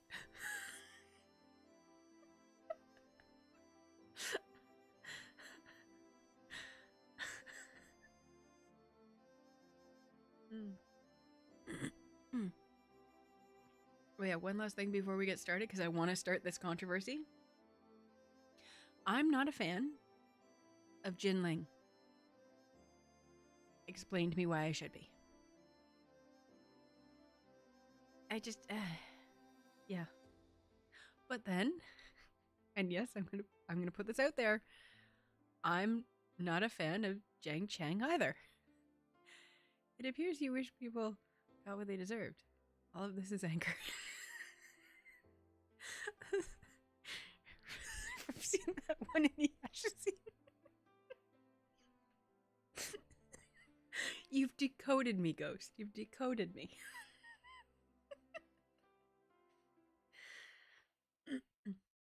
I do. I like seeing people being held accountable for stuff. And for Jiang Cheng, him leading the so it's not even said that he does it's hinted it's hinted that maybe he led the um the Wen soldiers away from Wei Wuxian when he was in town buying bread for the three of them that's never proven and it's even glossed over in the books so okay so here's a okay should i be worried i'm slightly worried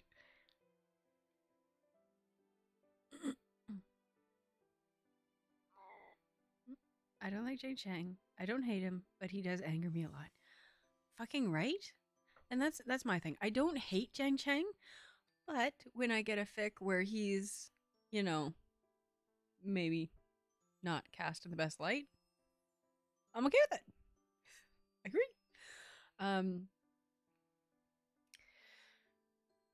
because I just I feel like to say he doesn't show his his emotions well or correctly is just a cop out to him being an abusive asshole. You know what I mean? And it's it's the same as oh well he's just like his mother. Well, his mother was an abusive bitch and and he saw that perpetrated on his brother and how she treated both him and his sister and how she treated his father and how she treated all the people around him why would you ever want to emulate that? And I think it comes from a bigger person to be able to say, I'm not going to emulate that. I'm going to do better than that. And saying, oh, well, he's just like his mother and that's, he doesn't know any better. Fuck you, quite frankly. Now, this is coming from years of therapy. that is a choice. And he makes the wrong choice. I was so hurt for Wei Ying in that opening scene where um where oh uh just after you really like him though because I feel bad for him. He was bullied and only had Jiang Cheng his family. Like poor boy, if I was stuck with Jiang Cheng, I'd be a jerk too. You know what? That's fucking legitimate. That is absolutely legitimate. You know, I don't. It's not that I dislike Jinling necessarily. I just he's that annoying character that um everyone's saying, "Oh, be quiet, be quiet." You know, the bad guy's coming, and his cell phone goes off. He's that asshole. like he's the one where it's like, "Oh, uh, you're you're 14, 15 years old don't go off into the woods and explore a haunted fucking castle that's called the man eating castle. Oh, I'm going to take my dog and go um, investigate this because I'm, you know, my father's. Because I can. because I've got this dog and it's my partner and it'll go with me. Uh, let's see. Jinling is still a kid. He's at least more open to Wei Wuxian, so I implore him for being better than his uncle. True. Do I wish we got more of him being nice in development? Yes. Yes. But I'll take it. Yeah. yeah, so I just felt like okay. No one can fight me on this though. Lan Sizhui, best boy.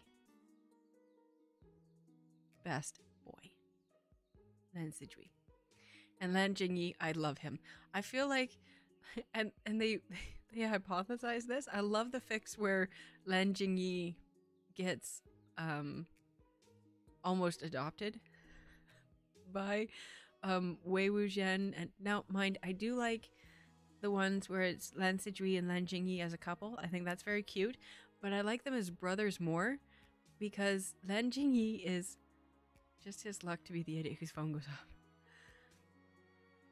Because Lan Jingyi, I feel like is the Lan is the Lan equivalent of Wei Ying. You know what I mean?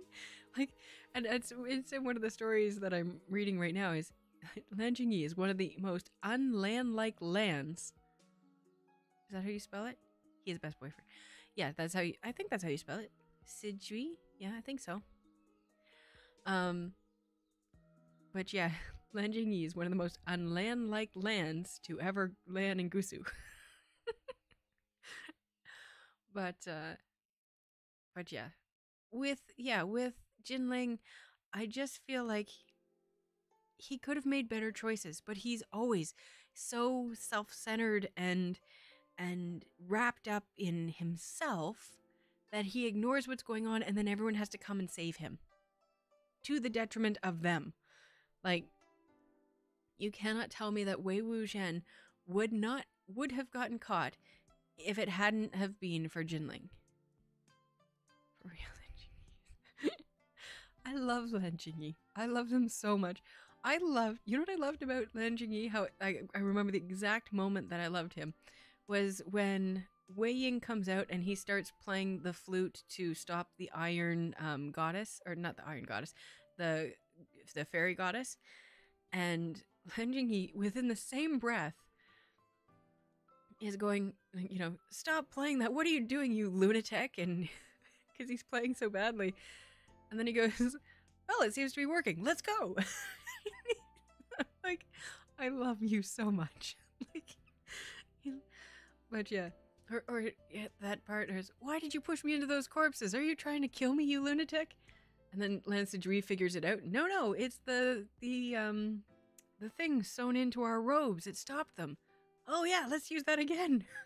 like, he is so cute. I love him. But yes, I do love the Lan boys.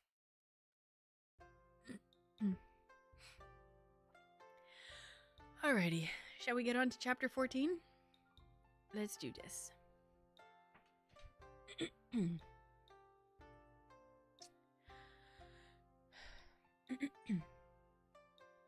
Chapter 14 Great beauty will not reason with mortals.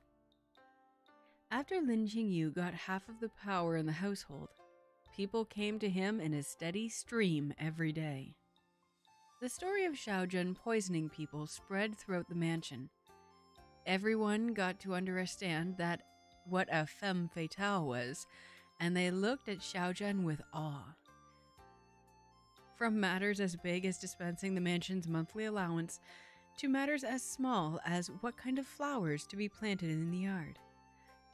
No one dared to make an arbitrary decision at all.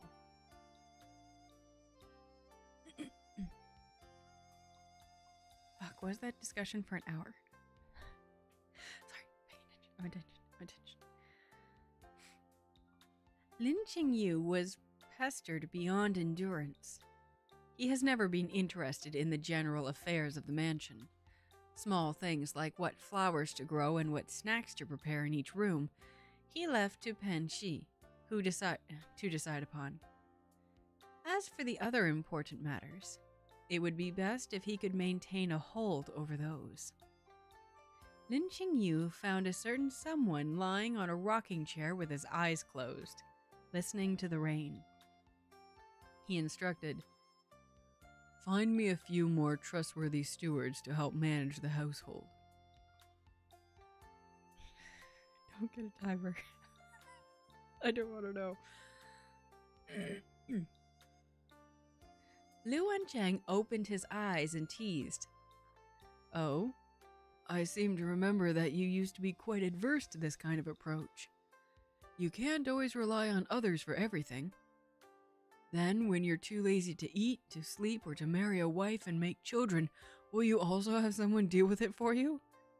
That was quite funny. Lin Qingyu paused and said calmly, That was one situation. This is quite another. Lu Wanchang smiled and said, This matter is easy to handle. I'll just write another letter to my grandfather. Lin Qingyu nodded. All right, go write it. Then help me grind the ink. Lu Wanchang had just said it jokingly and offhand, thinking that he would be ruthlessly rejected by Lin Qingyu once again. Unexpectedly, Lin Qingyu merely hesitated for a moment, then said, All right. Lu Wanchang was immediately overwhelmed by having been bestowed with this favor. In the study room, Lu Wanchang stood in front of the window railing, holding a pen in his hand.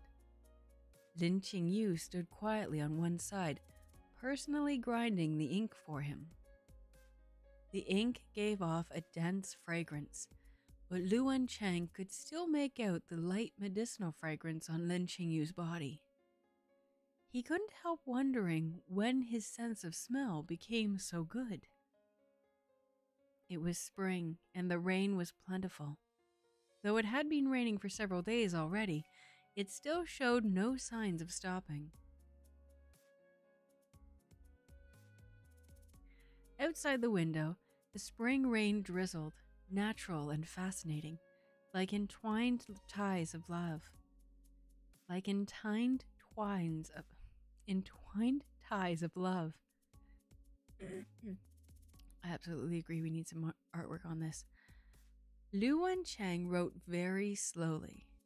It seemed that he didn't write often, but his brushwork was excellent. Letters were private things, and Lin Qingyu didn't read it deliberately, but he did catch sight of it inadvertently. They say that who a person is is reflected in their calligraphy.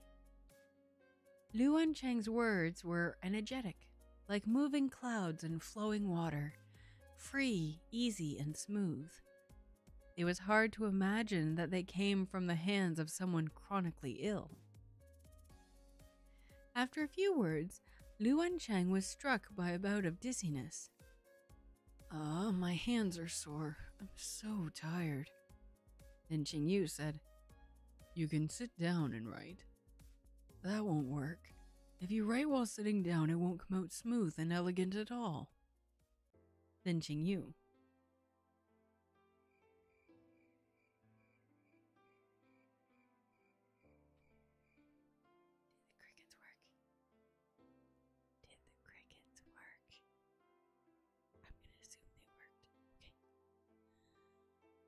Huan Tong came in to deliver snacks and was met with the sight of young Master Hu writing while his own family's young master acted as red sleeves adding fragrance. They were while standing. I I think they explain that in just a moment. I think. Because I don't think they usually do, but he's choosing to.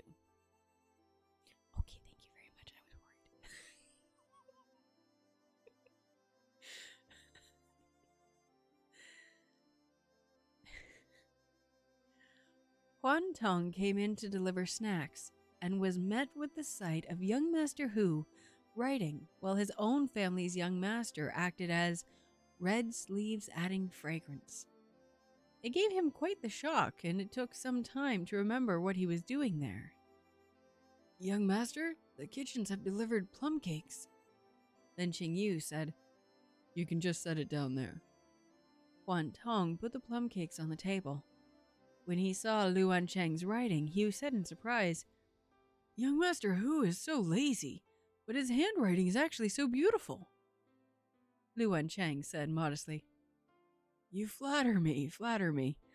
It's nothing exceptional. Lin Qingyu said slowly, Looking at your calligraphy, it looks like you have diligently practiced it. Yeah, I have practiced a few years. Yeah, I have practiced for.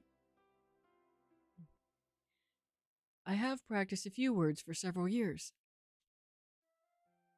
Practicing one's calligraphy is not something done in a day. Lin Yu couldn't help but question. If you are you're already complaining of a sore hand after just a few words, how could you have possibly practiced writing for leisure?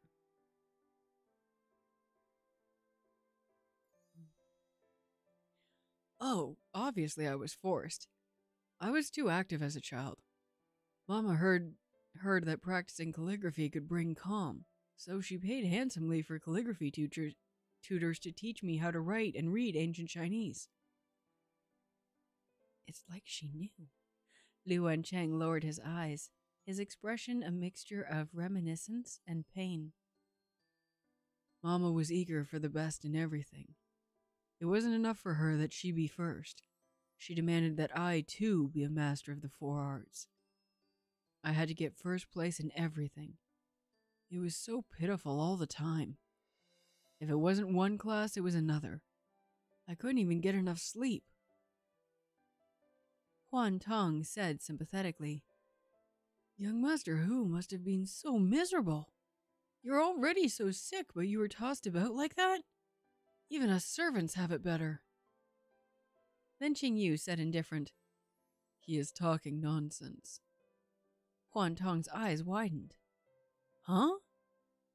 When did you ever hear him call Liang Shi Mama? Huan Tong scratched his head. Oh, that's right. Lu Chang didn't refute. He smiled and said, Ah, I've been found out. Halfway through the letter, there was a sentence for which Lu Wancheng was unsure of the grammar, and so he stopped writing and pondered. He pondered and pondered until his thoughts started to stray, his eyes gradually slackening, and even the way he held the brush changed. But despite the careless way he held the brush, in a burst of power he wrapped his fingers around the brush and finished it from beginning to end, all in one go.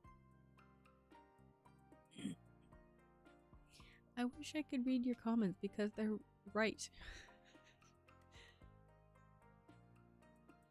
In an instant, brush and ink flew wildly. The master servant pair who was standing beside him received some damage. Lin Yu got off relatively easy, suffering only a few ink stains. It was Huan Tong who suffered more with who suffered more with a streak of ink, ink marking half of his face. Moreover, because he'd been caught in surprise, he had had his mouth open and unfortunately got to have a taste of some ink. Once he came back to his senses, he immediately pet, pet, pet. Lu Wancheng realized his mistake and quickly put down the brush, apologizing to them both. I'm sorry. For a moment there, I forgot that this is a brush ink dipped in ink. Lin Yu said, devoid of expression. Damn you. If I had hands, I'd.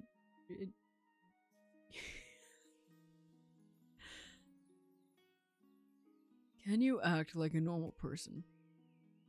Lu Wancheng felt a little like laughing, but doing so at this time would really be too unkind. He held back a smile and said, It really wasn't intentional. Here, let me wipe it for you, he said, raising his hand. Those few ink stains happened to fall under Lin Yu's eyes, mixing with his tear shaped mole. Just as Lu Wancheng reached out, Lin Yu blinked. Long eyelashes, like butterfly wings, brushed lightly over Lu Wancheng's fingertips. Slightly ticklish and soft. Lu Wancheng's hand paused. He actually froze, and even his breathing stagnated. Lin Yu didn't notice his strange actions. He brushed his hand away and said in a cool tone, are hands that you use to wipe away ink stains? Are hands what you use to wipe away in- ink stains? Oh, yes. Lu Wancheng recovered his senses. He turned and ordered, Huan Tong, Get a handkerchief and wipe it for young master. Huan Tong argued. I haven't got all the ink out of my mouth yet. Hua Lu brought over some warm water, and Lin Qing Yu used a wet handkerchief to wipe his face. At this time, Pan Shi's personal maid, Huan Tong, Huan Chao, came to Lin Qing Yu and said, Xiaojun, our young, our Yiniang requests that you go to the front hall. Lin Qing Yu said, I see. Pan Shi was a woman and he was a man. Distinction was made between them. Although they shared the running of the household, they rarely met each other and would simply let the servants deliver messages. Pan Shi's sudden invitation meant that there was something that needed to be discussed in person. Lin Qingyu said to Luan Chang, I'm going out for a bit. You should finish writing that letter and send someone to Guat Guaogong Mansion as soon as possible. Luan Chang absent-mindedly agreed.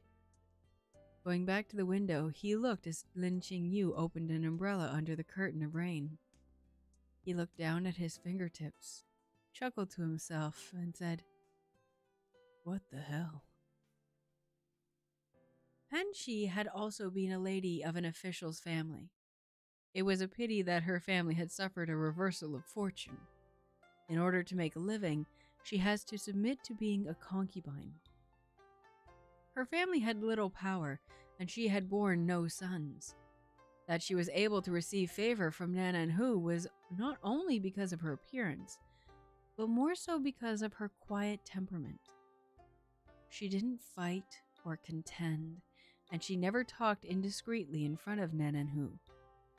The things in court were already disturbing enough. When Nanan Hu returned to the mansion, he just wanted a bit of peace, and Pan Shi's was undoubtedly the best place to go. In order to avoid suspicion, Lin Qingyu and Pan Shi brought a lot of servants with them whenever they met, and this time was no different. Lin Qingyu had never liked the people of the Nananhu mansion, but because of the wedding gift Pan Shi had given him and Luan Chang, and also because of the medicinal plaster she had given when he got a sprain, he did not loathe this person. He was simply indifferent. Lin Qingyu patiently exchanged a few polite words with her and said, If Yiniang has anything important, you can just say it directly. Pan Shi nodded and said, It will be Qingming in a few days. The Lin the Lu family's hometown is in Linan, and the presentation of offerings is all handled by the Lu clan's branch family. It's to show filial piety Master Hu keeps two ever-burning altar lamps for his parents in Changxiang Temple in the outskirts of the capital. In the past, during this time, Master Hu's wife would go to Changxiang Temple to pray for the ancestors' blessing and protection. However, Madam is still yet to recuperate from her illness, and Master Hu. Pan stopped and said nothing more. Since Cheng Guifei's birthday, Liang Shi has rarely appeared in front of others. They say she's in recuperation, but she was actually being confined. Nanan Hu has always been in a high position. He was proud and arrogant and couldn't bear the shame of being the target of deception by her schemes. Liang Shi's fault could not be called small, but neither could it be called big. However, since she violated Nanan Hu's taboo, she was naturally made to suffer a lot of hardships. Lin Qingyu said, This being the case, I will have to trouble Yiniang to pray for our blessings. Pan shook her head and said, I am just a concubine. I cannot take the madam's place to light the incense. You are the Hu Mansion's officially wedded Xiaojun. Except for the madam, only you can go. Lin Qingyu declined to comment. If they had him go and light incense for the ancestors of the, of the Lu family, he might just directly extinguish the ever burning lamps that Nan and Hu has kept burning for more than 10 years. However, it would be nice if he could take this opportunity to visit the Changxing Temple and pray for his family. Lin Qingyu said, All right, I will arrange it. Pan Shi said, The road has been made slippery by the rain. Young master can wait for the rain to stop before heading out. Lin Qingyu nodded and took his leave. Pan Shi watched him leave and then suddenly said, Xiaojun, please wait. Lin Qingyu asked, Is there anything else? Pan walked forward and bowed to Lin Qingyu, saying, Ten years ago, I had yet to enter the mansion, and I lived with my mother. We made a living by washing and weaving. That winter had been bitterly cold, and my mother had caught a bad cold. It wouldn't heal even after many days, and she was dying. However, with but four bare walls for a house, we couldn't afford to pay for medicinal treatment or medicine. I took a few copper coins and begged for medicine at the ever bright and harmonious drugstore, but was harassed by a patch- passing lecher.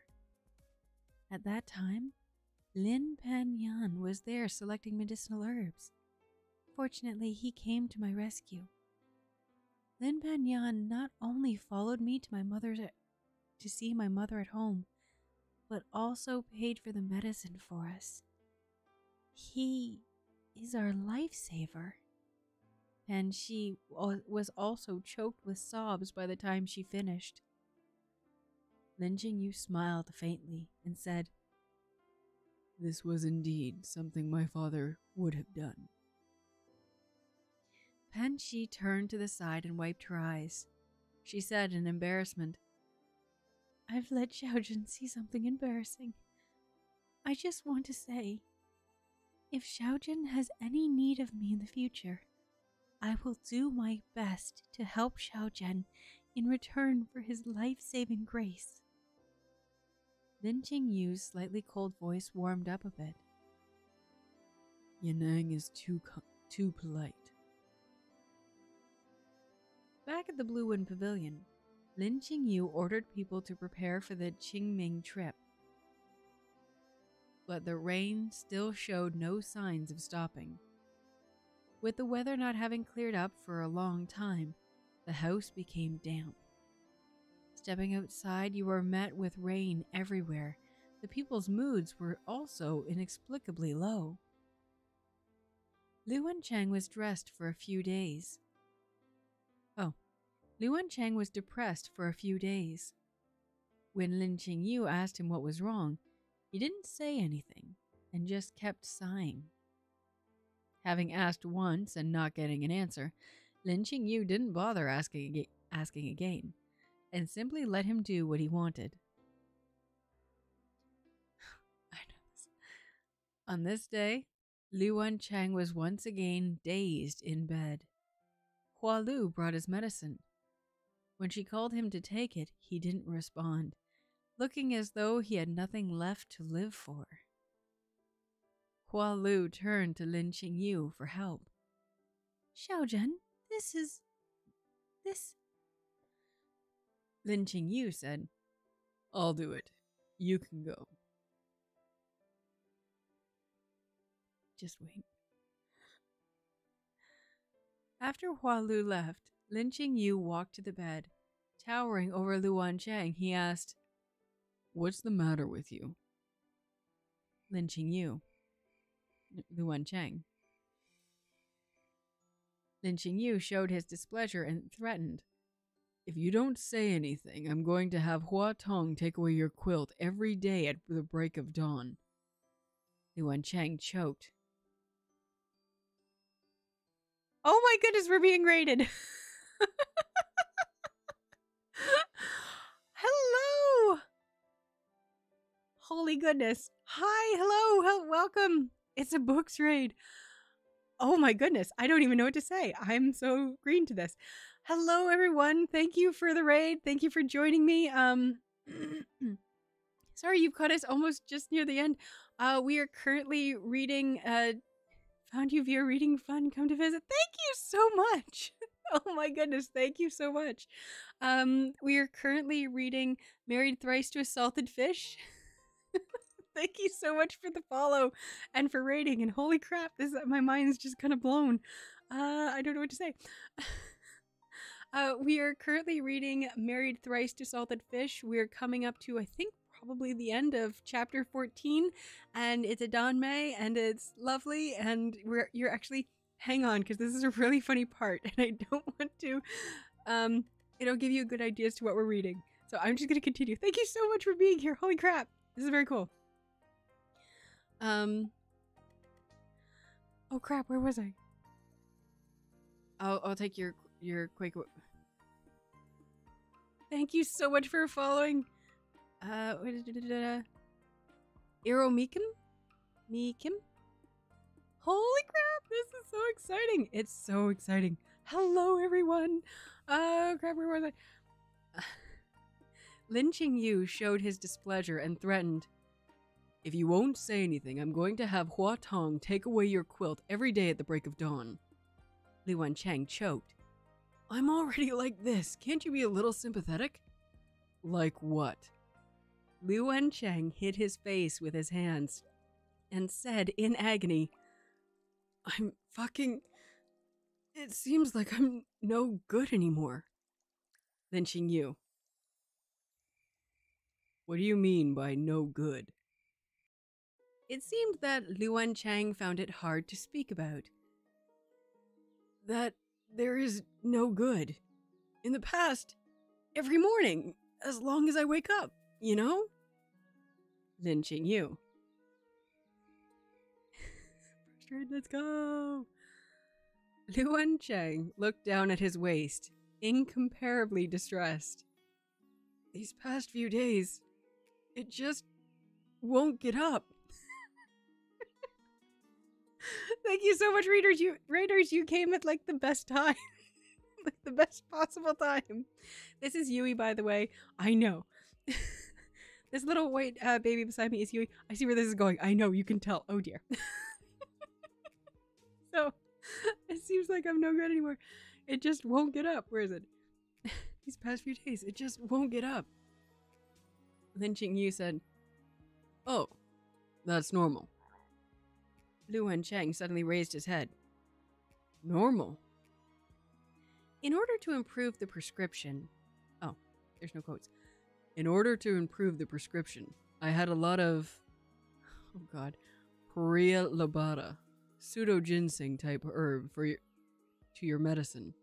Lin Qing Yu downplayed it. He sounded like he was talking about what they were having for dinner tonight.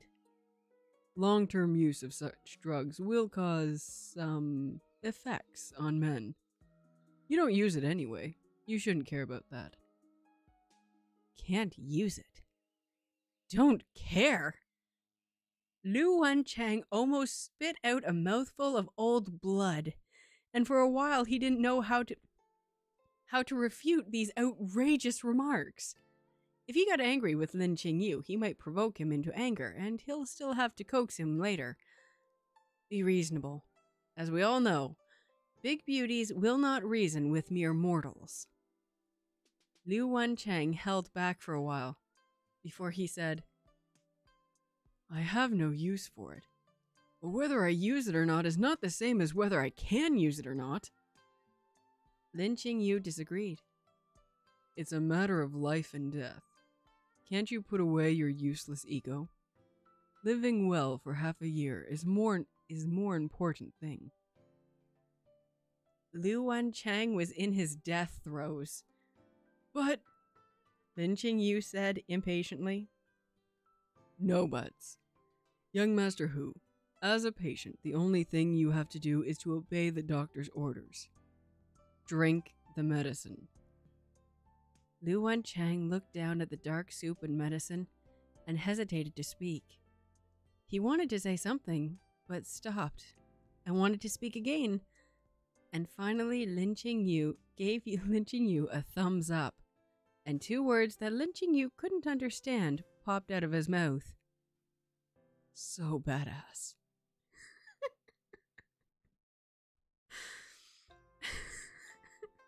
God, I love the time. he's all wilted and he's still coaxing some great beauties. Jesus. That was so cool. Um so hello raiders, thank you so much for joining us. Um I can't get over that. It's what do you mean? Don't care. You don't use it. Um, so we are currently reading uh, Danmei. It's uh, again Married Thrice to Salted Fish by uh, Bikabi, and it's about the main. Char- I know, poor kid. Uh, the two main characters, Lin Qing Yu, is probably one of our main char- char- um, main main characters, and then the secondary main character is Lu Wan Chang. Lu Wan Chang is, uh, if you don't know the Chinese term, salted fish is lazy and not going to do anything, and I don't care, and you can't make me, and it's just breathing is too much effort. I'm going to die. One of those type people. Very relatable. And uh, Lin Qing Yu is his probably opposite. He's very driven. Uh, he has the goal. He wants to enter the Imperial Medical Office and take the exams, and he's very driven. Uh, however, because Luan Chang is wealthy and dying, uh, Lin Qing Yu, oh, by the way, this is a gay romance, so BL. Uh, Lin Qing Yu, who's also male, gets forced into marrying Luan Chang in a last ditch effort to save Luan Chang from dying. Married thrice to assaulted to a lazy person, yes. but it's like lazy to the extreme. Um, I can't write a letter because it's too much effort to lift my hand like that. um, so yeah, so um, when it says married thrice, this is a transmigration story. So um, this is not a spoiler because it's in the summary. Luan Chang will die. So we haven't gotten there yet, but he is terminally ill. Lin Qing Yu is his husband and his doctor, or he's come up with this brand new medicine to help him live at least, what did it say, half a year longer? Um, then, uh, but it has also apparently made him impotent, and he's upset by this. Also lurking to feed cats, but I'm still here. Lurk. I love lurkers. That's awesome. I'm so flipping excited by this this raid. I, that's so cool. Thank you everyone so much. Um, but yeah, so I stream. Have a good lurk. I stream every Wednesday and Sunday night, possibly more, but not until winter time because I'm a cottager. So Wednesdays and Sundays at 8 p.m. Eastern Standard Time. I may actually move it up on Wednesdays, but it depends on if I need to walk Yui. By the way, this right here, this little white angel, this is my Yui. Uh, he is, if he's on the screen, it means he's in the room with us. And actually, I've got excited Yui because he's very, this is all very exciting. He's actually asleep right now because we just came back from the cottage. And so he's, but yeah, so we read on here, we talk about Danmei and manga and anime, and I make Ghost cry. Sometimes. Um, but yeah, so it's very, very exciting. Um, I don't even know what to do. I'm just, I'm fucking buzzing. Uh, this, uh, we do swear on here as well, so I apologize for that. Um, so yeah, 1025. Uh, oh, there's kitties. Look at the kitties. This is Toothless, one of the six cats I am feeding. Is he actually toothless? He looks like Toothless Dragon. He looks like Toothless the Dragon. Anyone else? That's perfect. Yes, Ghost agrees with me. Um, I don't know that they agree with me. I'm just saying they will. Um, but yeah, so we don't usually stay on much, much longer than this because we have to. She is almost toothless. One tooth. Aw. Is it a front tooth that at least sticks out and looks super cute? My Yui is absolutely passed out. He we went to the cottage for the first time this weekend, or not the first full weekend of the that he would remember, and he swam so much. Almost got sprayed by a skunk, but didn't. Thank God. Um, but yeah, so he's just exhausted. But yeah, so um anything more about Yes, so we talk about all the stuffs. No, it's from the inner mouth. Flip. I wish I had emojis on here. I just I'm I'm brand new. Like brand spanking new. Um, so I don't have any of the fun stuff yet, except for Ghosty, give us some love. this is my one trick that I've got. That's my love. Um there. Oh good, it did work. But uh yeah. So I will be we'll be continuing on on Wednesday. Wednesdays are usually a much longer stream. Um, because I don't work on Thursdays. And if if we don't get to chatting too much, looking at you, um, you know who you are. Uh, we can usually get through quite a few chapters. Um, it looks so good. I love it so much. Well, actually, hey, I'll put it up to a vote because this, I don't think this chapter is too terribly long. Should I continue with chapter 15? Up to you guys. You let me know. I don't think I have any like waiting sounds on my board.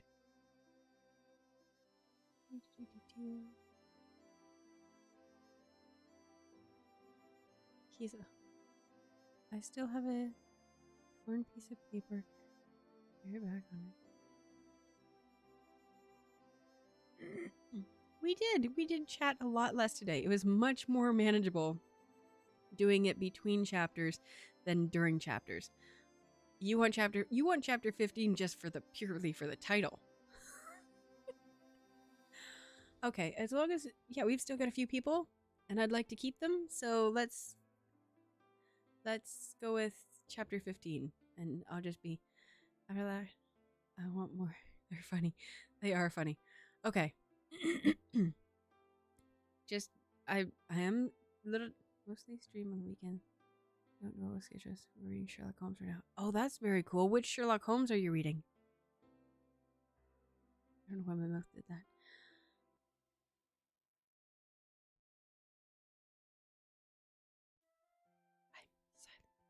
No, um I'm going to continue on with chapter 5, but I am watching the chat. Ghost, don't do that to me. don't tempt me. Um just I do apologize for any um stuttering.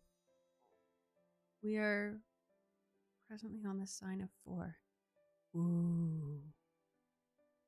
That sounds fun, but you don't have a mostly stream on weekends. That's fun. I will definitely have to check that out. Okay. Chapter 15. He is all wilted and he is still coaxing some great beauties. Recently, the atmosphere in the Blue Wind Pavilion was different from usual. The Hua Mei no longer sang, and the myna no longer called out, Dr. Lin! And young Master Hu withered. His wilting was not only physical, but also emotional.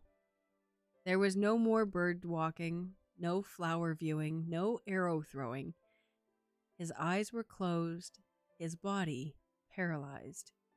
He was cut off from all worldly desires. all the remaining servants of the Blue Wind Pavilion liked their master very much. Young Master Hu was charming and generous. He often found, found fun things which he enjoyed with the servants. With his wilting, the courtyard became gloomier and gloomier, and not the slightest cheer could be heard. Hua Lu and Huan Tong were the closest to the masters, and they felt the changes most acutely. They all agreed that young Master Hu and Xiaojun seemed to be quarreling, and now they were both ignoring each other.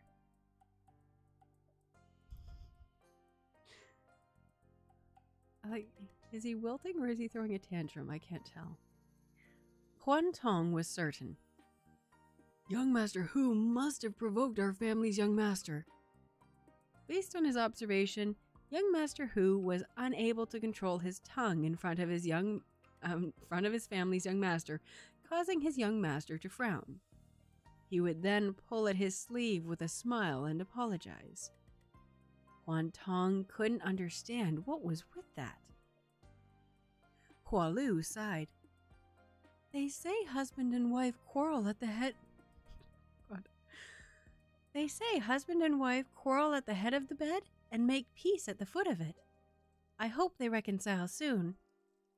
You get what she's saying, right? Huan Tong bared the truth with one remark. Though they've never slept on the same bed. Lin Qingyu knew that Luan Chang was depressed, but he really didn't understand why. That he hadn't given advance notice to Luan Chang about the side effects of the medicine was his slip. But if he didn't use this medicine and instead used the one originally written for on his father's prescription, Luan Chang would have to suffer unbearable pain after taking the medicine. Compared to that, what was a little erectile dysfunction? The most important point was even if Luan Chang could get it up, he was in no position to make use of it. He himself said that he was too lazy to move. Still one of my favorite lines, yes. If only Luan Chang could quickly realize it and cheer up. After raining for almost half a month, a musty smell appeared in the study, affecting people's moods to read. In Lin Qingyu prepared some incense which had the effect of removing dampness. He asked the servants to light them in each room. He then offered several servants to take out the moldy books from the bookcase and spread them out in front of the fire to dry. The study was bustling with activity. Lin Qingyu was in no mood to read and simply joined the servants in cleaning. He casually opened a copy of Linan Travel Notes and saw comments written in ink in the margins. He asked, Is this the young Master Hu's book? Hua Lu looked over and said, Yes, young Master Hu read this book all the time last year. He even told me he wanted to go to Linan to see the scenery south of the Yangtze River. Lin Qingyu frowned. Was he also the one who wrote these notes? Most certainly. Lin Qingyu took a closer look at the line of characters. The more he looked at it, the more he felt that something was wrong. The characters in Lin Lu Wan Chang's earlier letter to Wen Gongong were similar in shape and appearance to his calligraphy last year but it didn't look at all alike in spirit. It looked like it like he was desperately imitating it. Of course, the shape of the characters could be imitated, but a character's grace and charm reflected a person's mood and character. No matter how similar the shape, there would always be a difference in spirit.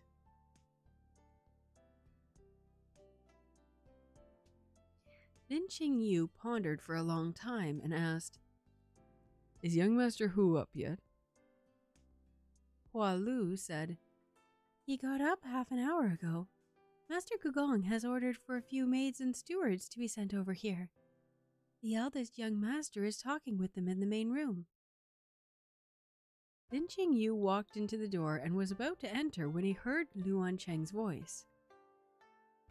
You are the people sent by my maternal grandparents. I can trust you. I think there is no need for me to say it. You should know what to do.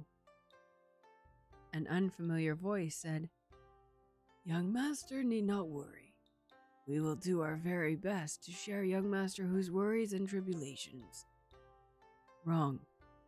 It's not my worries you'll be sharing. It's the Xiaojun's, Luan Chang said lightly. I won't be able to last until next winter anyway. When I go, Xiaojun will go back to the Lin residence. It is my wish that when he leaves, he be able to bring most of the Hu Mansion's family's property with him, without the Hu Master and Madam making things difficult for him. Do you understand what I mean? After a short silence, several people said in unison, Young Master Hu and Young Master and Xiaojun have our sole guide. Young Master Hu and Xiaojun serve as our sole guide. Lu Wencheng was quick, quite satisfied. After the matter is done, you will be handsomely rewarded. Lin Qingyu felt his heart constrict somewhat. He couldn't help closing his eyes and sighing. Lu Wencheng sent the people off. He picked up the tea from off the table and had just taken a sip when he heard, Greetings, Xiaojun, coming from outside. His hand paused. Pretending not to hear, he went on drinking his tea. Lin Qingyu walked in and said, Young Master Hu? Lu Chang gave a reserved, Hmm. After Lin Qingyu called out to him, he said nothing more, as though considering his words. Lu Chang had no intention of compromising so quickly about the matter concerning his dignity as a man. It was embarrassing enough that he wasn't able to carry this great beauty. And now, the great beauty had directly taken away his dignity as a man.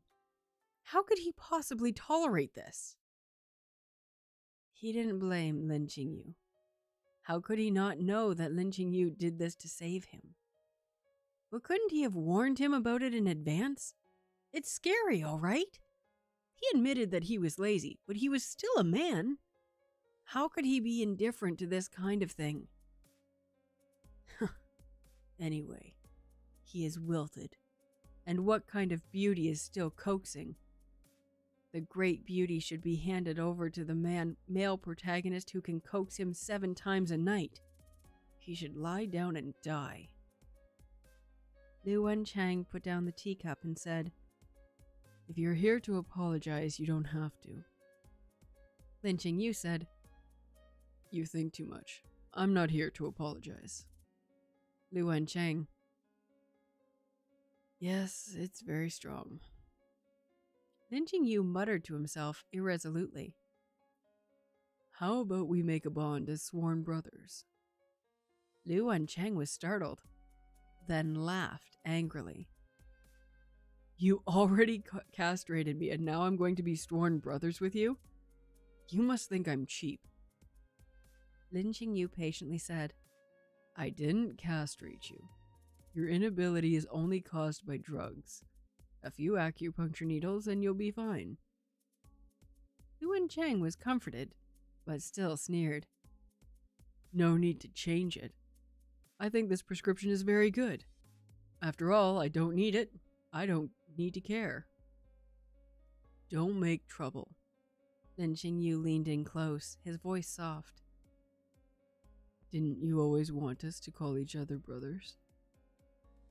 The word brother made Lu Wencheng raise his eyes and and look at the beauty standing in front of him. Like a plum blossom unrelentingly defying the snow. If he could get Lin Qingyu to call him Gege, then selling himself cheap didn't sound didn't seem so out of the question.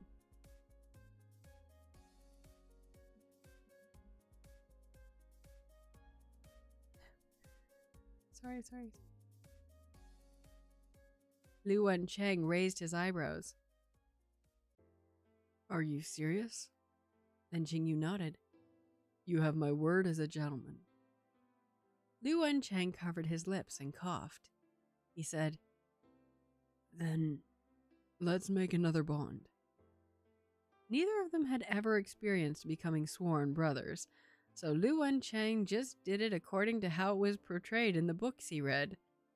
He asked Huan Tong to prepare an incense burner, a dagger, apricot wine, and praying mats. He also ordered for a small table to be placed under the eaves. The rest of the things were then systematically laid out. Hua Lu had never seen such a situation before. She asked curiously, What are young master and Xiaojun up to? Hua Tong, Huan Tong was delighted. Can't you see? They're going to be sworn brothers. Hua Lu's eyes widened and she suddenly said said in alarm, Become what? Become sworn brother. Sorry, sorry, sorry. Become sworn brothers. With a sip of this wine, we brothers go together. That kind. Hua Lu's big eyes were filled with even greater confusion. But they're already married. Lu Wancheng picked up the dagger and said hesitantly, The book says that when swearing brotherhood, it should be done by taking an oath with your lips smeared with blood. Lin Qingyu took on the mentality of someone accompanying their younger brother to play house. He said, One's body, hair, and skin are all re- received from one's parents. So long as it's done with sincerity, smearing or not smearing one's lips with blood isn't important. You're right. Lu Wancheng lit three incense candles and inserted them into the incense burner. Let's just swear the oath. The two clasped hands. Oh. The two clasped the cup of wine in their hands, and they both knelt down on the praying mats. Lu Wancheng said ceremoniously, With the gods of heaven and earth as our witness, today we, Lu Wancheng and Lin Qingyu, although of different surnames, come together as brothers. We seek not to be born on the same day, in the same month, and in the same year, but Lu Wancheng paused. He changed his words with a smile. For the long future ahead, we will share the same boat. Even stones will be steamed buns to eat. We will work as one without heed for riches. Even plain boiled water will be taken with gladness. Lin Qingyu. The two of them together drank the wine for the ritual, and Lin Qingyu called Huan Tong to help Lu Wancheng get up. Seeing Lu Wancheng smiling, smiling, Lin Qingyu said coldly, Are you happy now? The corners of Lu Wancheng's lips ticked up into a smirk. I just got myself a good brother. Of course I'm happy. What about you, Jing Didi? After saying so, he looked expectantly at Lin Qingyu. Lin Qingyu said lightly, I'm fine, Wang Chengzhong. Wan Cheng Xiong. Lu Wancheng's smile froze on his face. No, no, no, no. I called you Qingyu Didi. So you should call me Wan Cheng Gege. That's only fair. To call each other brothers. If not Xiong, then what? Lu Wancheng suddenly felt like he'd been hit by a bolt from the blue. Lin Qingyu, you have no heart. Lin Qingyu laughed and said, You've been making a fuss for so long. Just stop already. Let's go back. You have to drink your medicine. After you drink it, I'll perform acupuncture for you and bring back your dignity as a man. It was in the middle. And then break. It was in the middle third of April. The rain finally stopped. The horizon cleared up. There was no cloud in the sky. A warm breeze blew into their sleeves. It was a good day to travel. Lin Qingyu no longer delayed. He prepared to set out for Changsheng Temple. Before leaving, he went to see Lu Wancheng. Lu Wancheng had actually already woken up, but he still remained lying on the bed, thinking of who knows what. He seemed to be in a good mood and gave him a lazy greeting. Lin Qingyu immediately understood, and he said with a smile that was yet not a smile, As they say, joy puts heart into a man. It seems that the acupuncture treatment worked. Lu Wancheng. Hmm. Perfect timing. Let me have a look. Lu Wancheng was stricken with panic, and he wrapped the quilt tightly around him. Have a look at what? You're asking what? Lin Qingyu said lightly. There's nothing two people who've been studying medicine hasn't seen. You don't have to be shy. Lu Chang said quietly. Qingyu, I find that you're getting worse and worse. Lin Qingyu's lips curled up. Didn't young Master Hu say that he liked it best when I do bad things? Lu Chang's eyes darkened and he chuckled softly. Indeed. If Dr. Lin wants to see it, of course. I have to acquiesce. But I don't feel like moving, so I'll have to trouble you to take it. so I'll have to trouble you to take a look at it yourself. Lin Qingyu then joked. Then just forget it. There's nothing to see anyway. Lu Wancheng still wanted to retort, but was interrupted by Huan Tong. Young master, the carriage is ready. Lin Qingyu looked out the window. Spring was in full bloom. The sunshine was just right. He asked, Young Master Ho, would you like to go out to relieve your boredom? Go where? Changsheng Temple. Lu Wencheng thought for a while. He then smiled and said, All right. It just so happened that there was someone he wanted to see. And so Lin Yu, together with Lu Wencheng and Hua Tong, rode the carriage to Changsheng Temple in the suburbs of the, of the capital. Changsheng Temple was the foremost temple in the empire. Its interior was tranquil and solemn, thoughtful and contemplative. There was an endless stream of pilgrims. Ordinary people could only burn incense and worship in the front hall. The rear courtyard was reserved for receiving high ranking officials or members of influential families.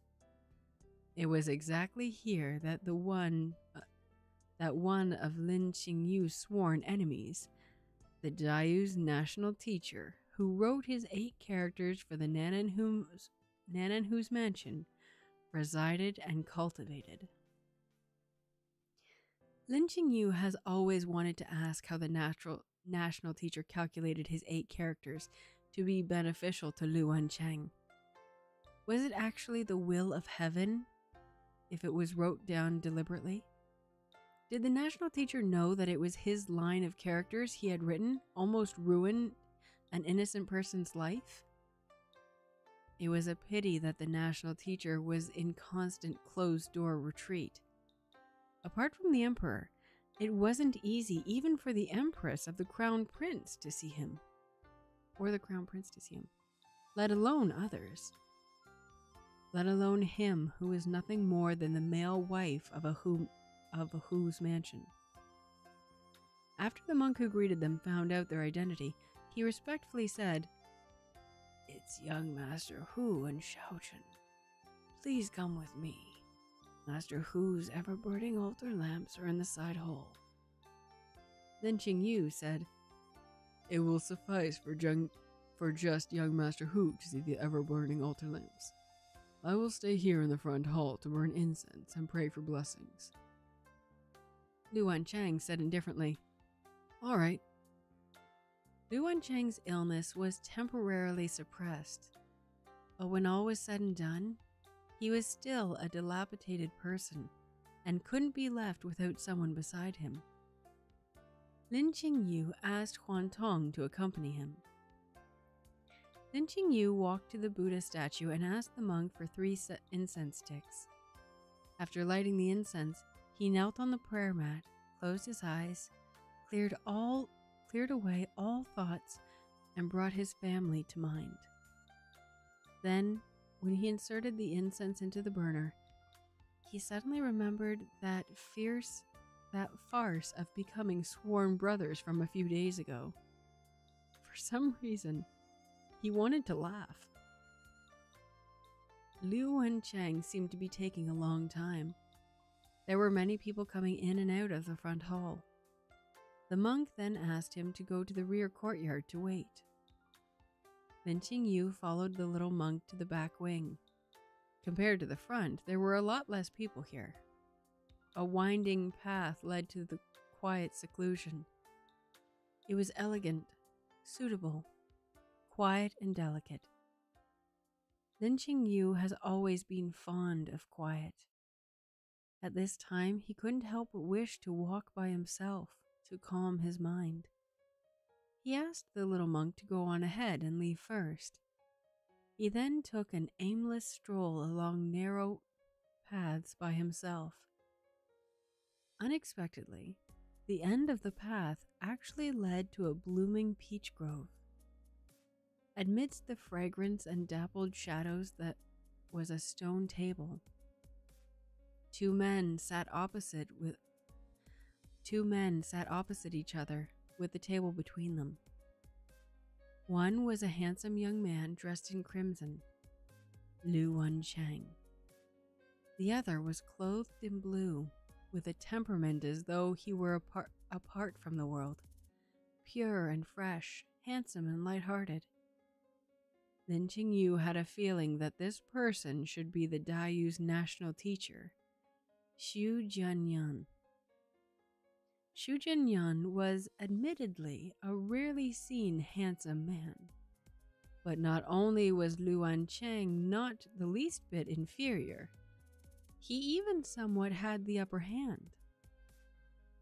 Seeing his languid and carefree posture, sitting under the peach blossom tree with flowers falling behind him like rain. It was the very picture of a graceful son of nobility, as clear and bright as a jade tree before the wind. And he had obviously been like a string. and he had obviously been like a stranded salted fish in bed just a couple of hours ago. This person was simply too good at pretending. As long as there were others present, Lu Wan Chang always appeared to be the most dazzling one, like a brilliant gem reflecting all the light. It was only in front of him that he lost all decency. Lin Qingyu couldn't help thinking, if only Liu Wan Chang usually had even a tenth of his manner now, just how much weight could be taken off his mind. Xu Jianyan lifted up his sleeve and personally helped Luan Cheng steep a cup of tea. And what brings young Master Hu here, despite being in poor health? Luan Cheng nodded lightly. He smiled, polite but disaffected. I have a matter that I wish to have the national teacher's wise opinion on. Liu Xianyan smiled and said, Young Master Hu may as well ask. Luan Cheng said slowly, In this world, can there be resurrection from the dead? Or a transferring of the soul to another body? Yep. Author's note. Some noble sons look bright and beautiful, but in fact have been poisoned by their wives. what? what? This is direct translation from the author. Some noble sons look bright and beautiful, but in fact they have been poisoned by their wives. Is that in relation to to how in in others they look immaculate, but to the wife they're like that prison sentence gave me pause too. That's but I'm like, is that is that what the author means? Because remember, this is all mostly Google Translate. So how does that? So it's like in in public they look perfect and respectable and all that but once they get behind closed doors and in front of their wives the real them comes out. They're just lazy slobs. Just completely disintegrate. I that's what i took from that. That's what i'm choosing. All right. Nobody look. I'm gonna peek at what the next title of the next chapter is. And ghost? No. Wait let's see. Seriously know their name? Okay. So uh, I do know what happens next. Ha ha ha ha. So this story, I started reading this for those of you who are just turning in, tuning in. I started reading this myself, and I've read up to I think chapter twenty, maybe less, maybe more. Um, so I know a few spoilers, but then after that, it's all downhill for everyone. Um, so yeah, so this has been so the chapter you you didn't see nothing. I ain't gonna lie, no, you didn't see nothing. Um, for those of you who are joining us, um, we also have a Discord to which Ghost pokes posts a lot of memes that they don't want anyone else to see. But if you're on Discord, then it's okay. Apparently, looking at you. Um, also, uh, if you've missed any episodes and want to catch up, some of the later chapter or earliest chapters have of course left Twitch because it's been a while, but they're all on the YouTube page, which are will also be in the links of this of the description once I get it all um, done and dusted. So yeah, so that was this. Let me go back to where am I going?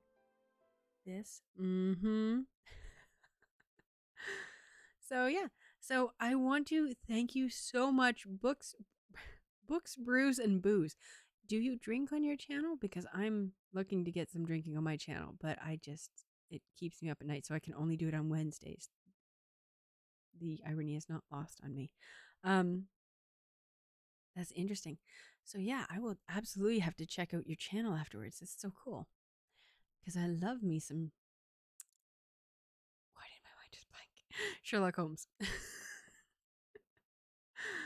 um so yeah so i again we uh, will be posting i post on here live stream every wednesday and sunday night at 8 p.m and we will be continuing with this story and um as ghost has so lovely pointed out there will be pain so absolutely you'll want in on this. Okay yep we talk books and i usually drink in a bu- drink in the brew category. Tea coffee craft beer cider. Ooh i love me a cider loves me a cider. Actually, if you want, oh, oh yeah, I had two food recommendations this uh, today, which I completely forgot, but you remind me of. Um, I am a huge sake drinker. I love sake, my sake, and there's two. There's a summer drink and an all year drink that I hope to recommend for people if they would care. But um, books are my favorite thing to talk about. Ciders my fave. Big fan.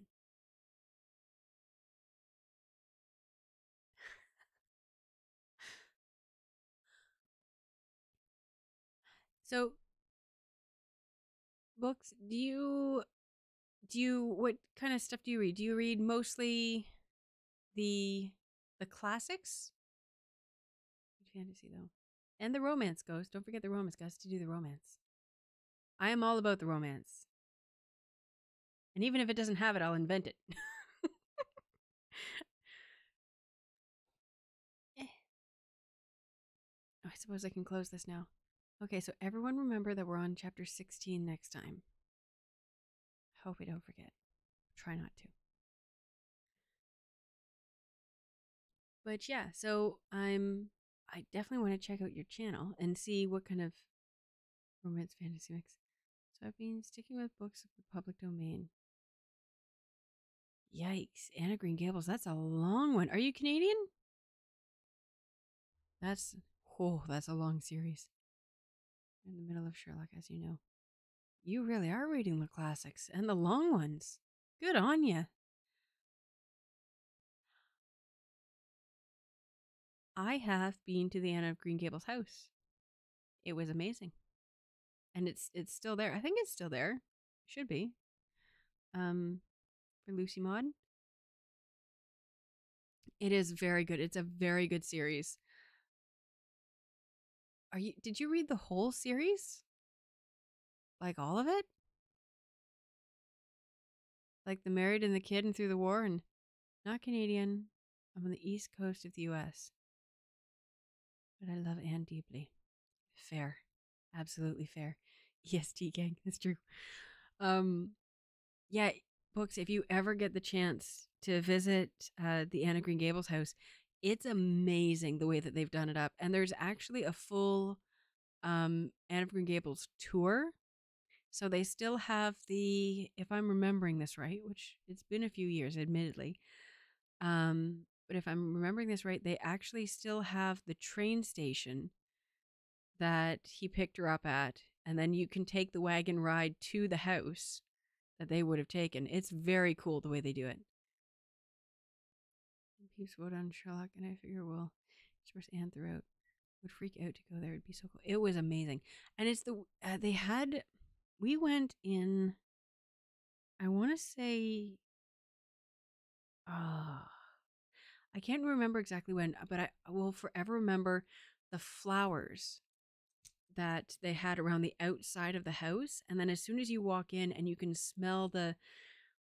Uh, old houses have a unique smell, and it's like the the the waxed wood floors and the wallpaper. It has such a distinct smell to it, and it smelled like warm tea and sunshine. It was the weirdest thing, but it was so great. Thoroughly recommend it. Orchard House too in Massachusetts, the Little Woman House. I see, I see. You're so you really are a connoisseur of the classics. If you ever need a guest reader to do Pride and Prejudice, I'm your girl. I'm actually I have a um a new audiobook in the works and it's for because Pride and Prejudice is as Ghost knows because I went off on them. Um it's public domain. So you can write and publish essentially fan fiction and publish it under a Pride and Prejudice variation. Um I'm doing a new audiobook by oh let me pull it up. it's just it's really long and it's really convoluted but it's the background characters getting to have excuse me getting to have their life stories and it's like the background characters are going to all the balls and everything and they're kind of witnessing this through all the gossip that's going around it was really really well written but some very big words, like 13 letter words. I'm like, I don't know what this is. I don't know what it means, and I don't know how to say it. Um, not all a classics, not at, not at all a classics person. Actually, I haven't read that many of them at all. That's fair. There's too many of them. But yeah, so that's fun. That's fun. How long have you been doing it? I suppose I would get that information just by going on your site. Oh, that's awesome. Quite Yeah, it's just it's really like I'm not Chinese, but I have an easier time pronouncing the Chinese words and names in these Danmeis that I read than the Mr. Such, Mrs. Such, Mrs. Such. Oh wow, so you're new too. Oh, okay, wow. So yeah, you started just a few months. I we I think I went live for the first time accidentally in April. So I is a new baby. Yes, it was one of those ones where I was trying to figure out my settings and just went live. Um, you two are living the audiobook dream. It's not a dream. That's a lie. No, it is. I, I there's nothing I would rather be doing. I just wish that I were making enough that I could pay someone to do my editing for me. But I will bitch about that until I get someone to do it. So that's not a new one. I've always wanted to read out loud, but I'm not brave enough. Do you talk to yourself out loud?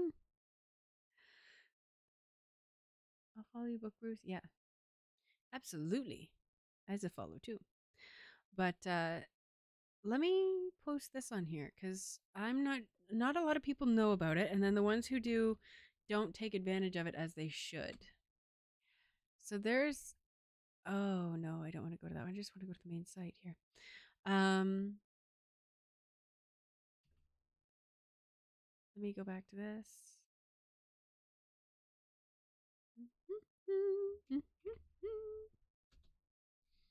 I is not smooth at this at all.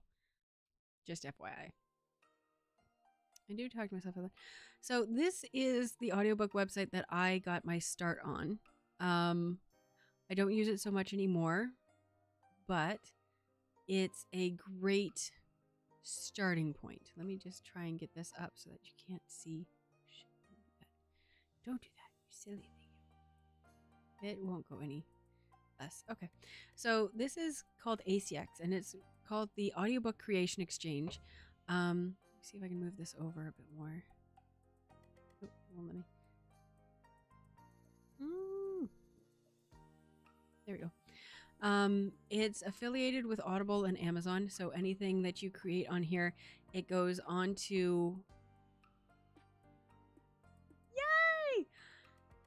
Hello, Happy Nightmares. Thank you so. Much. That's a great name. Thank you so much for the follow. Oh, this is so stinking exciting. So yeah, so if you're ever interested in audio work or do, producing an audiobook, either as a writer or as a voice, this is really where you get want to get your start. They are I originally signed on with them and I want to say 2010 and welcome new follower. Uh, and it's a great place to um, cut your teeth on. So it has on here, it even has uh, how to videos. So there's also ACX University, I think, on YouTube, and it teaches you how to read, how to emote, how to create an audiobook from both the reader side and the author side. Happy is our resident scholar and scientist. really? Oh, that's fun. Goes well with yours. It is actually, and the funny thing is, is that my theme for the library are ghosts. So I'm thinking it it it ties in really well, really well. Big love. So yeah, I'm not sure if any of you out there, because I get that question all the time. How do you become an audiobook narrator? How do you do the audiobooks? And this is the perfect place to get your start because I'll tell you this right now if you're not sure and you're not sure if you're good enough or if anyone would ever hire you, this is where you learn how to audition, how to um, how to make a proposal, um, and you can search for what you're actually good at. So I love doing the voices, but I'm not always incredibly consistent. It's very hard for me as an audiobook narrator to I have a whole bunch of different characters and I have to jump from person to person to person to person to person, to person and I have to remember. So I usually take notes.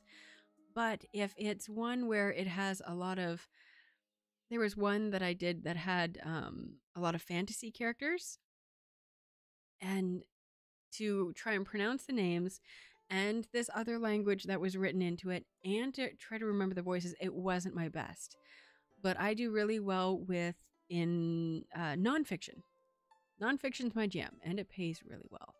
So if I was going to go titles accepting auditions, and I can do this because this is a public site. Look at those little ghosties. Oh, little ghosties with hearts. Oh, that's so cute. That's so cute.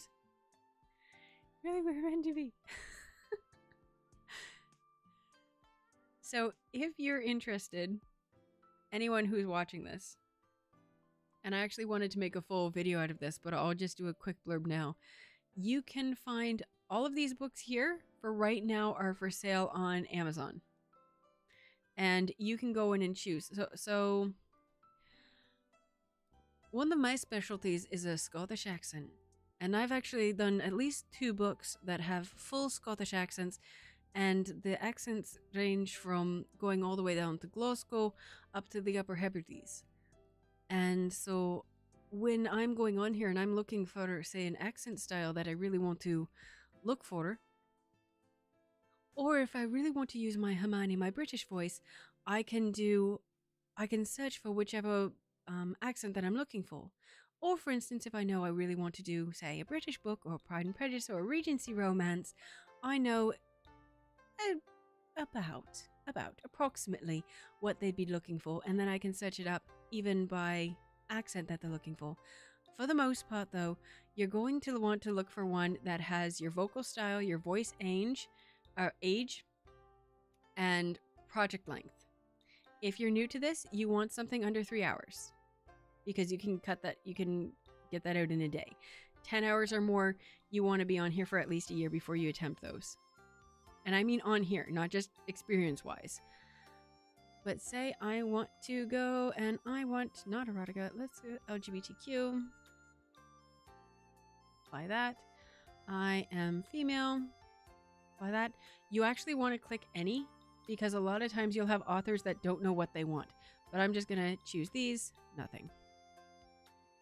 Okay. Okay, so these are straight romances. I really want. Give me a nonfiction. Biographies and memoirs. Sure. I don't know.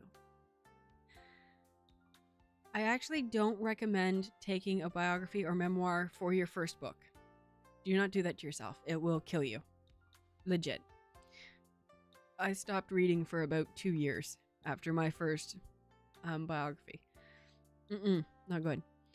So it's basically site you addition more. Yes, exactly. So let me find one just on the main page that's straight for females, just because I'm reading this. Okay, cognitive behavior, behavioral therapy. This is absolutely one that I would audition for. So it says here, can complete it in three and a half hours. Perfect. I could get that out easily. Um, project projected budget. When they say PFH, that's per finished hour. So if they're saying that it's going to be about three and a half hours or so, it may take you five to six hours to actually record it, depending on your proficiency, and then you have to edit that down, right? So this, it could be, it could be three hours, it could be four hours if you're a slow talker, it could be less than that, and then that 50 to 100 is what you're going to put into your proposal. Yes, I'm a big fan. One of my my biggest seller uh hands down is um oh god. I'm sorry it's so late. Um uh The Meaning of Dreams and Their Sexual Implications. It was a it was a, I think a 10 hour plus book, but even now it's still my biggest seller. Um, so what you would do is you'd come down here, and this is where they'll give you. This is not well put together. This is probably self-published. Yeah, published by. So this will be on Amazon, and this is usually your edition script because the people posting it, if it's not pu- published by put on here by a publisher and they're doing it themselves, they automatically think that this is where you're going to put it rather than in the audition, which you should be. There should be a link here for you to download. Anyways, so this is your what you're going to audition with. This is where they tell you wh- what they want. So vocal style, informed. They want you to read this like you already know what you're talking about. American, they'll give you the accent, how old you, English, nonfiction, that kind of thing. And then you can go over here and actually view the title and it tells you how many how many uh, units has it sold, what is its rating. So you can decide whether or not it's worth your time. But if you're just starting out, audition for everything. My first book was I got hired purely because I was Canadian and still had a Canadian accent. And the book did not sell well. It just didn't. Um let's see here. Mafia Daddies. No. Um can I find one on here? Search by relevance. There you go. Best selling. Yeah, that looks like it would be best selling. okay. So here's again 11.8 hours. This this one here will easily take you uh, with your just starting out a month and a half if not 2 months. Now, once you get better at it, it won't take as long, but at least that because we can already tell that this is a fantasy we can already tell that there will be different voices. There will be actual voice acting in this one. It's not just pure narration like the nonfiction books. So it's going to be a lot more than just 11.8 hours. But again, that 100 per 200, that's a really good deal if you can get it. But this is where a lot of people make the mistake. It says 100 to 200 per finished hour. You have to audition and put in your proposal always tell them how long you've been doing it so that they know how proficient you are and how quickly you can get it out to them.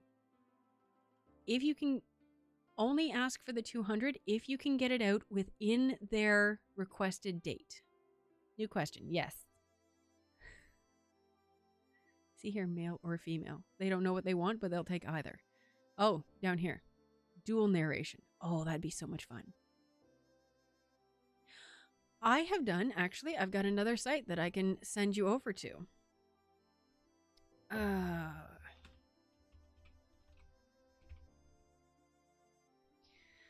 I got all of my voice acting from imitation.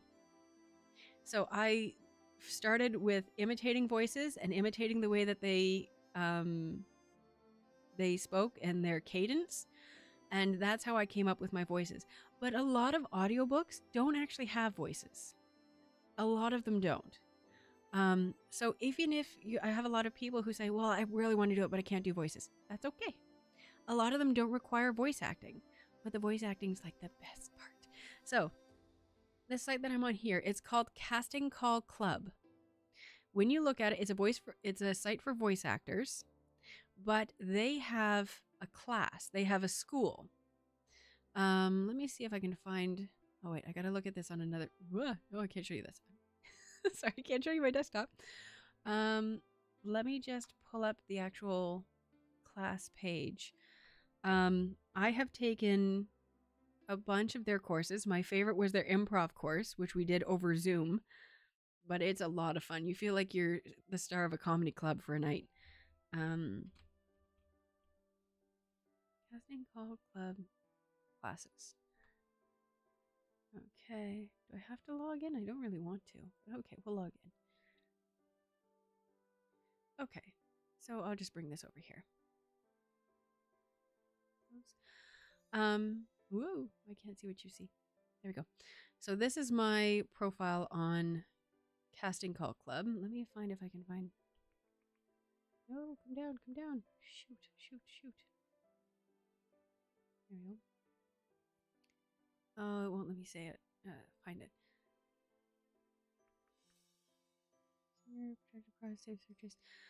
Um, this is also where I get a lot of my um, filler gigs. Uh, filler gigs are when I have audiobooks and I'm between audiobooks or they're I'm waiting for them to sign off on what I've put out. I can you can go on to Casting Call Club and this is also a great site for people who are just starting because again it teaches you how to audition. Um, and it takes people from all backgrounds.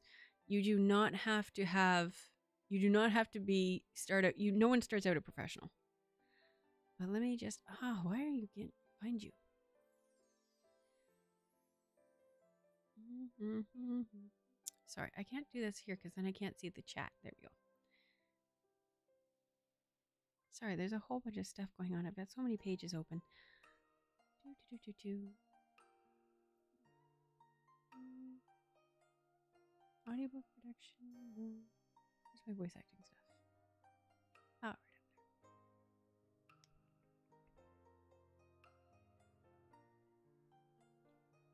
I learned to voice act through imitation. That was that was my only secret. Purely imitation. And then I would take characters and there's a lot of sites where you can choose like monologues or pieces from books and just read them as different characters. And that's really a, the only way that I picked it up. I can't find. Okay, I can't find it, but I will post it in the description. Um, in the description for the audiobooks, do you record just the script first?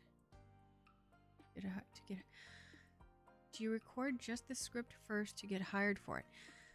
With the Okay, this Okay, so so for this one, I'm looking for either a dual narration, which is really hard to get hold of, but if you can, it's so much fun, or a female narrator, narrator who's very good at narrating male voices as well.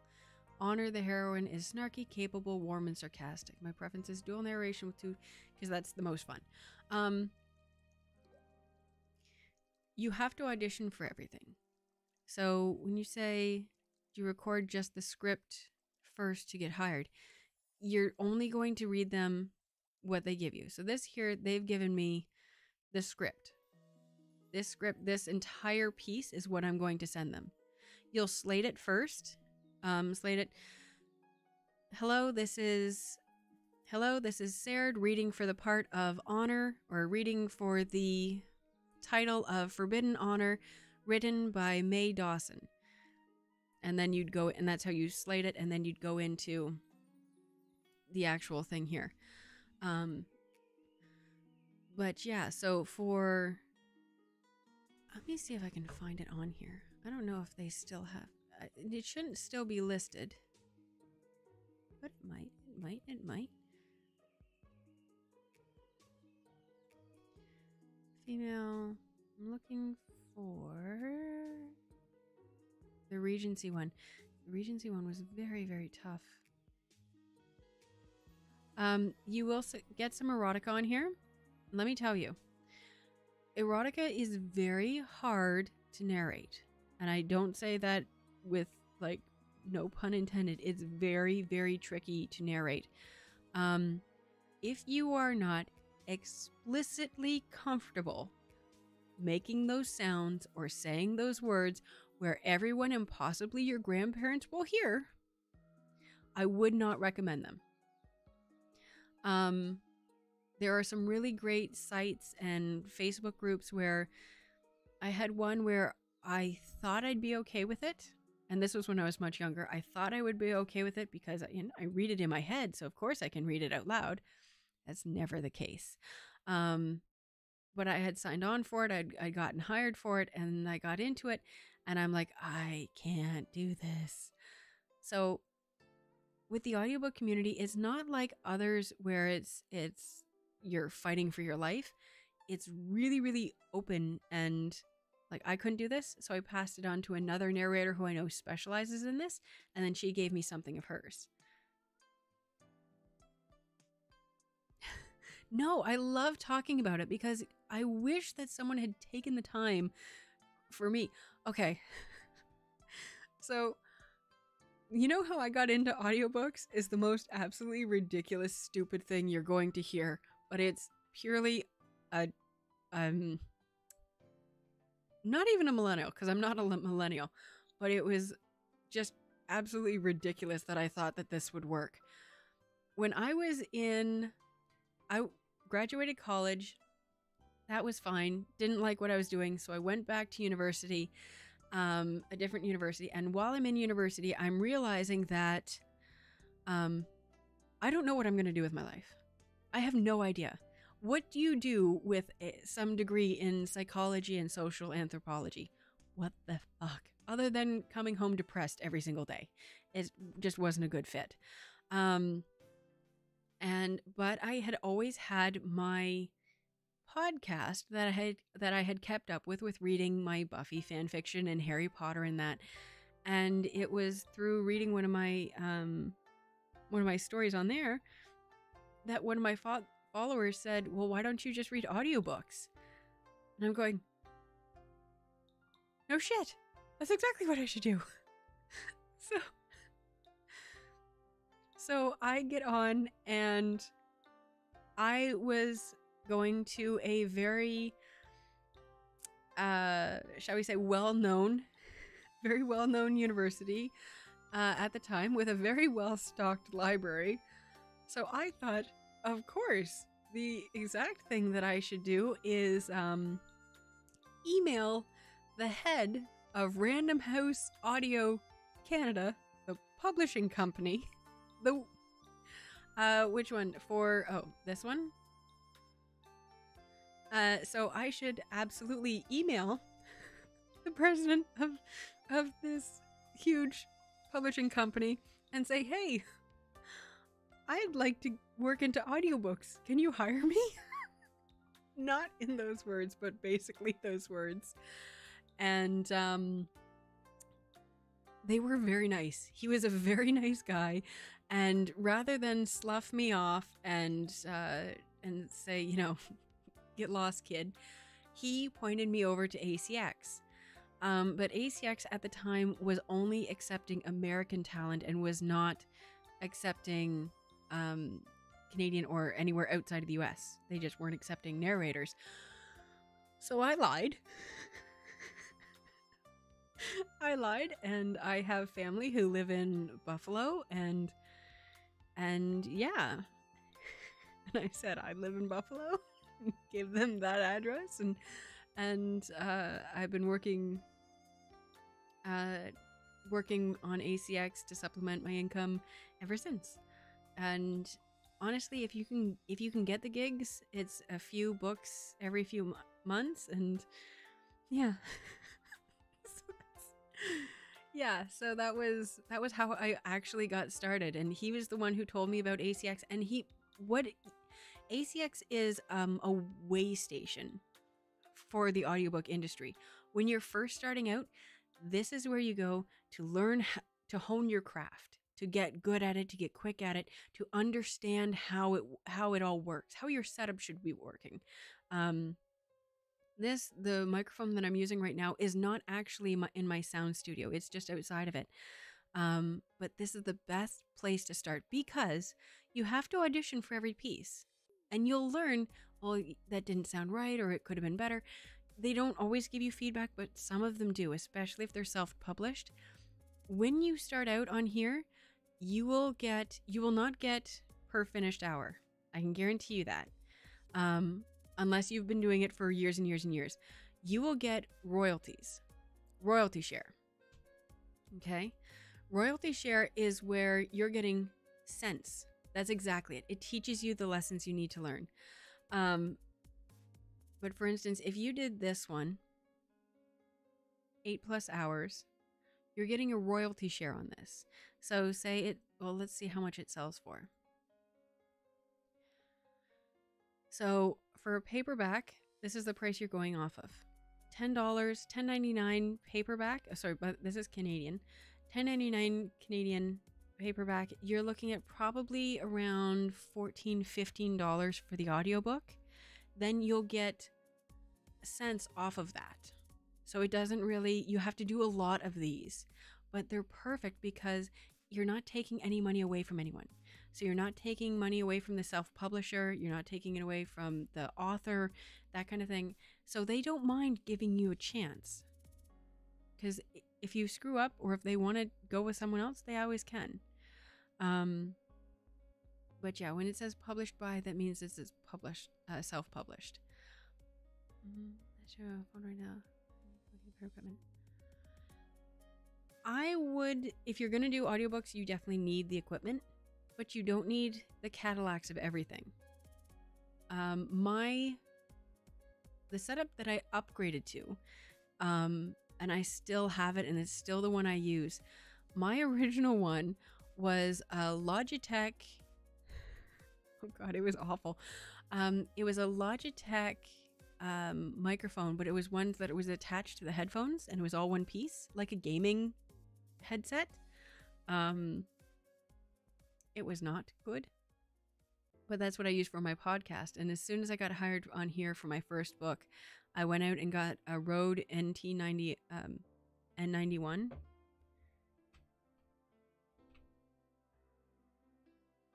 NT 1A, that's it. And it comes as like a little set, as a kit. And it's what I've been using ever since. Well, I've I've upgraded. Um, I upgraded to this. I had another one before this, but it uh that was just a pure lucky find at like Value Village. But yeah, so this is the set that I still use now. And you want to go with a uh quarter uh cor- card the heart one. Oh, right there. This one. This is what you want. Um, what I'm using right now is um, I use the BEACN mic to do these, but it's a how to explain? Um, it's a shotgun mic, so it's not the best for doing audiobooks because it doesn't give you different depths. I can uh, talk at this volume, or I could talk back here.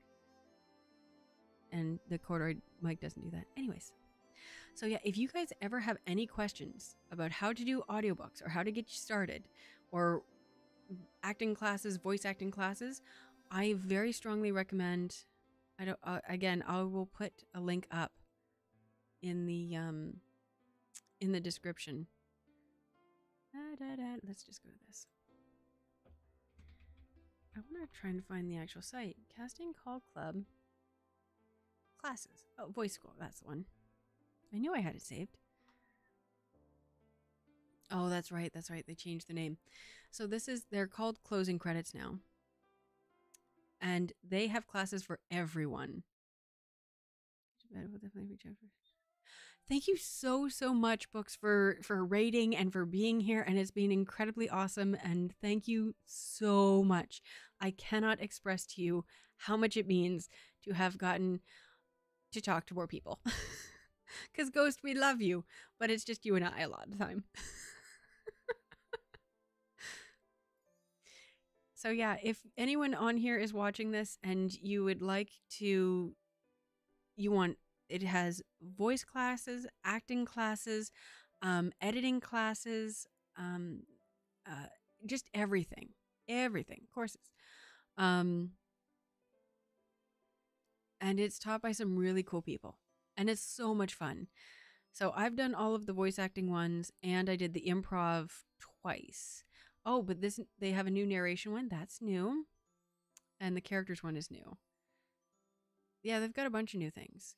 Oh, this is John, and I did the business one. I didn't say that. I didn't say that, Ghost. You mean so much. I want to sword be free. What? No, I didn't. Oh, oh, I plan on letting Ghost Witch. And... Oh, That's awesome, Ghosty. Don't do that to me. You know I love you. We've been through so much together. but yeah, I would recommend. Oh, frick! This guy's teaching a class. Ugh. Ugh. All right. Okay, so I'm going to give you a little dirt, and I hope no one else sees this. This fool right here. Fool. He works in New York. He has an audiobook publishing company. Um, he's a bit of a turd. Oh my god.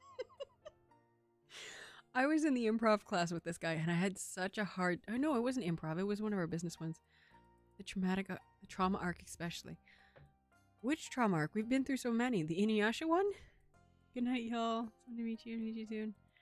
Then make the bond stronger. This is true. Good night, books. Thank you again so much. And holy shit, it's eleven thirty. Ghost. I'm blaming you for this. Um.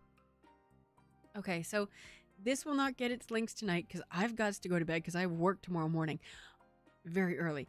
Um, but I will post all of the links to all of this stuff. Oh, the improv with June. He was very, very good. So much fun. Um, I'll post all the um, links to all the things that I mentioned in the description at some point, somewhere, sometime. we were absolutely talking about Inuyasha. Oh, are you a fan? Are you a fan? Because I, I cannot find another genuine Inuyasha fan that went through the same trauma that I went through. So I would love to find. Recently finished all the episodes on Netflix. Inuyasha lied to us, tricked us. It did. I was traumatized, and then they said that it was fake. And I'm like, no, you bastards. Give us pain. Okay, so happy nightmares. This was what happened with Inuyasha. I don't know, because you said that you just finished it. So, okay back when it was originally airing on TV, and this is years ago, like I was in my teens, so this is a long time ago. friend's younger sister all loved it when I was growing up. No. Okay, so I'm going to tell the story anyway. Because someone else has to suffer with Ghost as I tell the story, go through the story again. So, Inuyasha was one of those series. Immunity for no spoilers because Netflix doesn't have all episodes. Huh? Eh? What about early episodes? Have you watched early episodes? Shut up, Ghost. Ghost is laughing at me. It's not nice.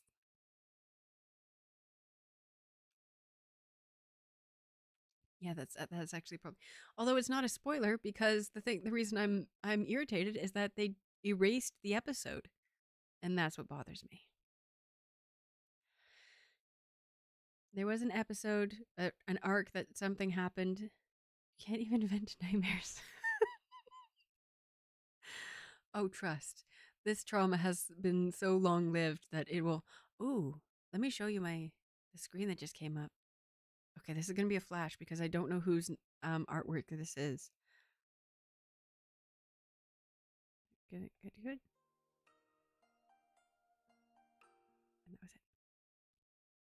Don't know if Ghost saw that or not. Do you know who that is? there is an artist. Oh, there's an artist, and they're still posting stuff on. I want to say Twitter. It's or is it? I can't remember. Sarah doesn't spoiling. She's talking about an episode that was original to the director and was deleted because it's not canon. That's exactly it. That's exactly it, and it bugged the shit out of me. Traumatized assholes.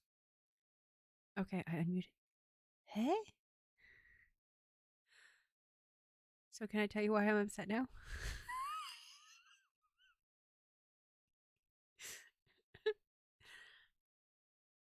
okay, so here's what happened.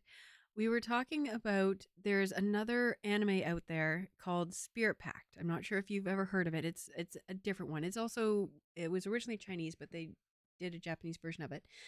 And with Spirit Pact, it got two seasons. Netflix has only the first 50 episodes. Okay, so yeah, you'd be fine with this. So with Spirit Pact, they were they got two seasons done. They were going to go for a third, but the actual original writer of the manga pulled out and would not allow them to continue on because the director tried to take the the the anime in a completely different direction than the manga. And the writer said absolutely not, so they had a falling out. So of course the show got discontinued. Well, with Inuyasha, while they were coming up with the manga, um, the manga, of course, takes a lot longer to come out than the anime does. And so there was a time, a, a stint where the anime outran the manga.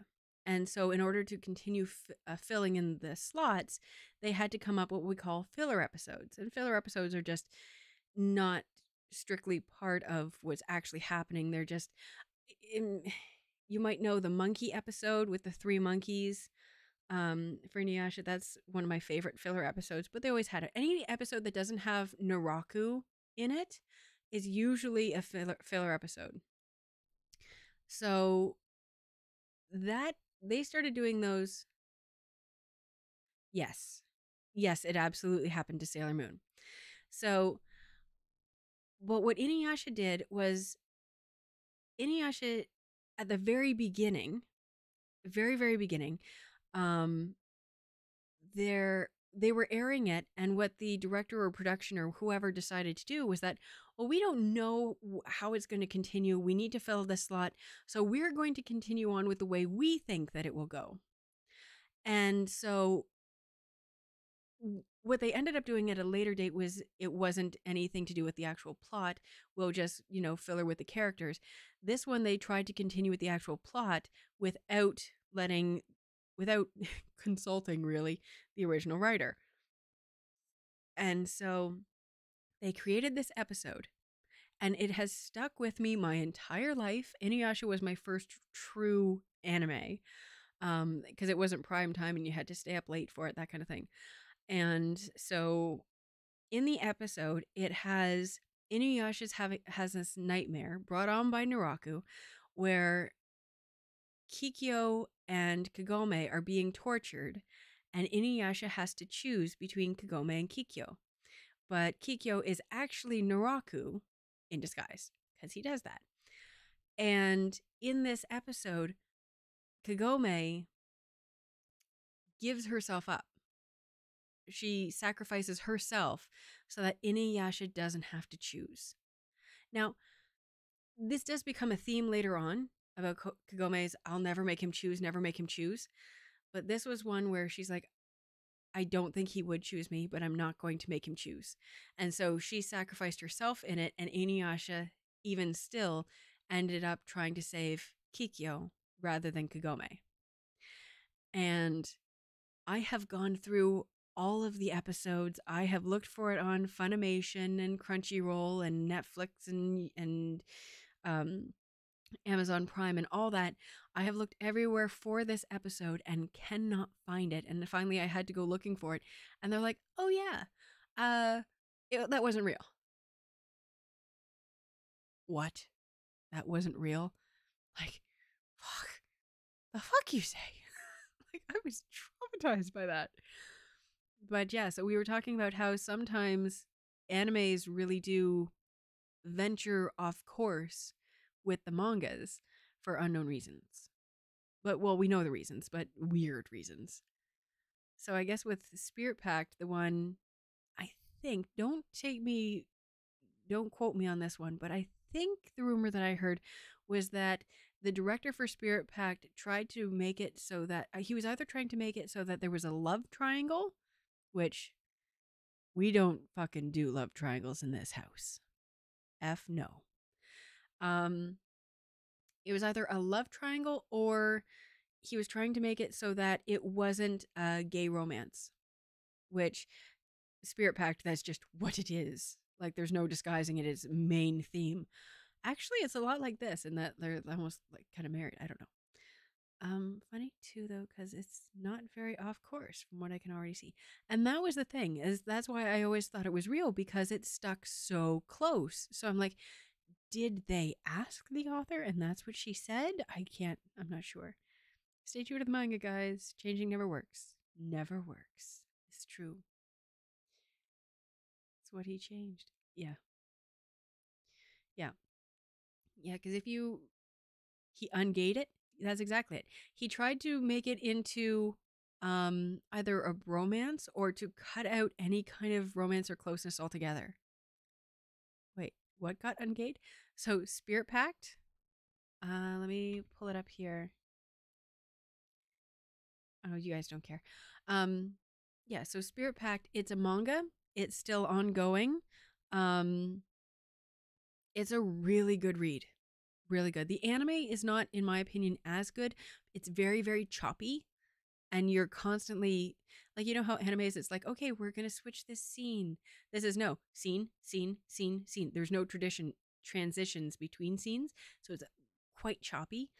Um, so sometimes even hard to follow. But yeah, so Spirit Pact is a lot of fun. Rest in peace, Spirit Pact is is, is true.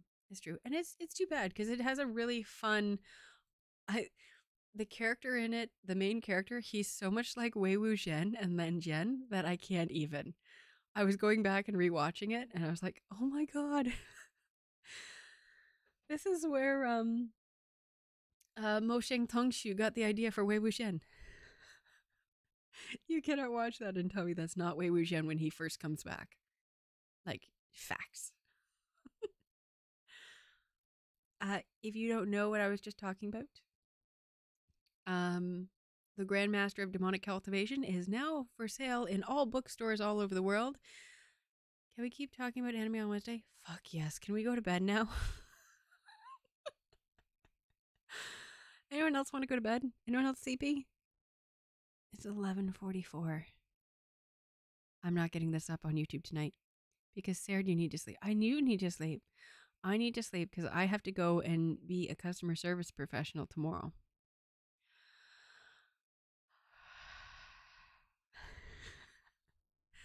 That's that's not fair because I do I love our clients, but it's just we we I I arrived tired. Where is I don't even I wish I had I wish I could put my things up, but I can't. I have things. Good night, everyone. Thank you. Thank you for calling it. Good night, everyone. Thank you so, so much for joining me and Ghost and Yui. And we will hopefully, hopefully see you on Wednesday at 8. I will follow me on Twitter. It's uh, Serdd Noble, S E R D D, Noble. Can't remember how to spell it at the moment. Um, on Twitch, and all the links will be in all the descriptions and all the stuff. And follow me on YouTube because that's where you get the old episodes and all the chatter. And thank you so much, everyone, for joining me and sticking around from the raid because that's so awesome. And uh, yeah, so good night, everyone, and we will see you again soon. Okay, I'm going to bed now.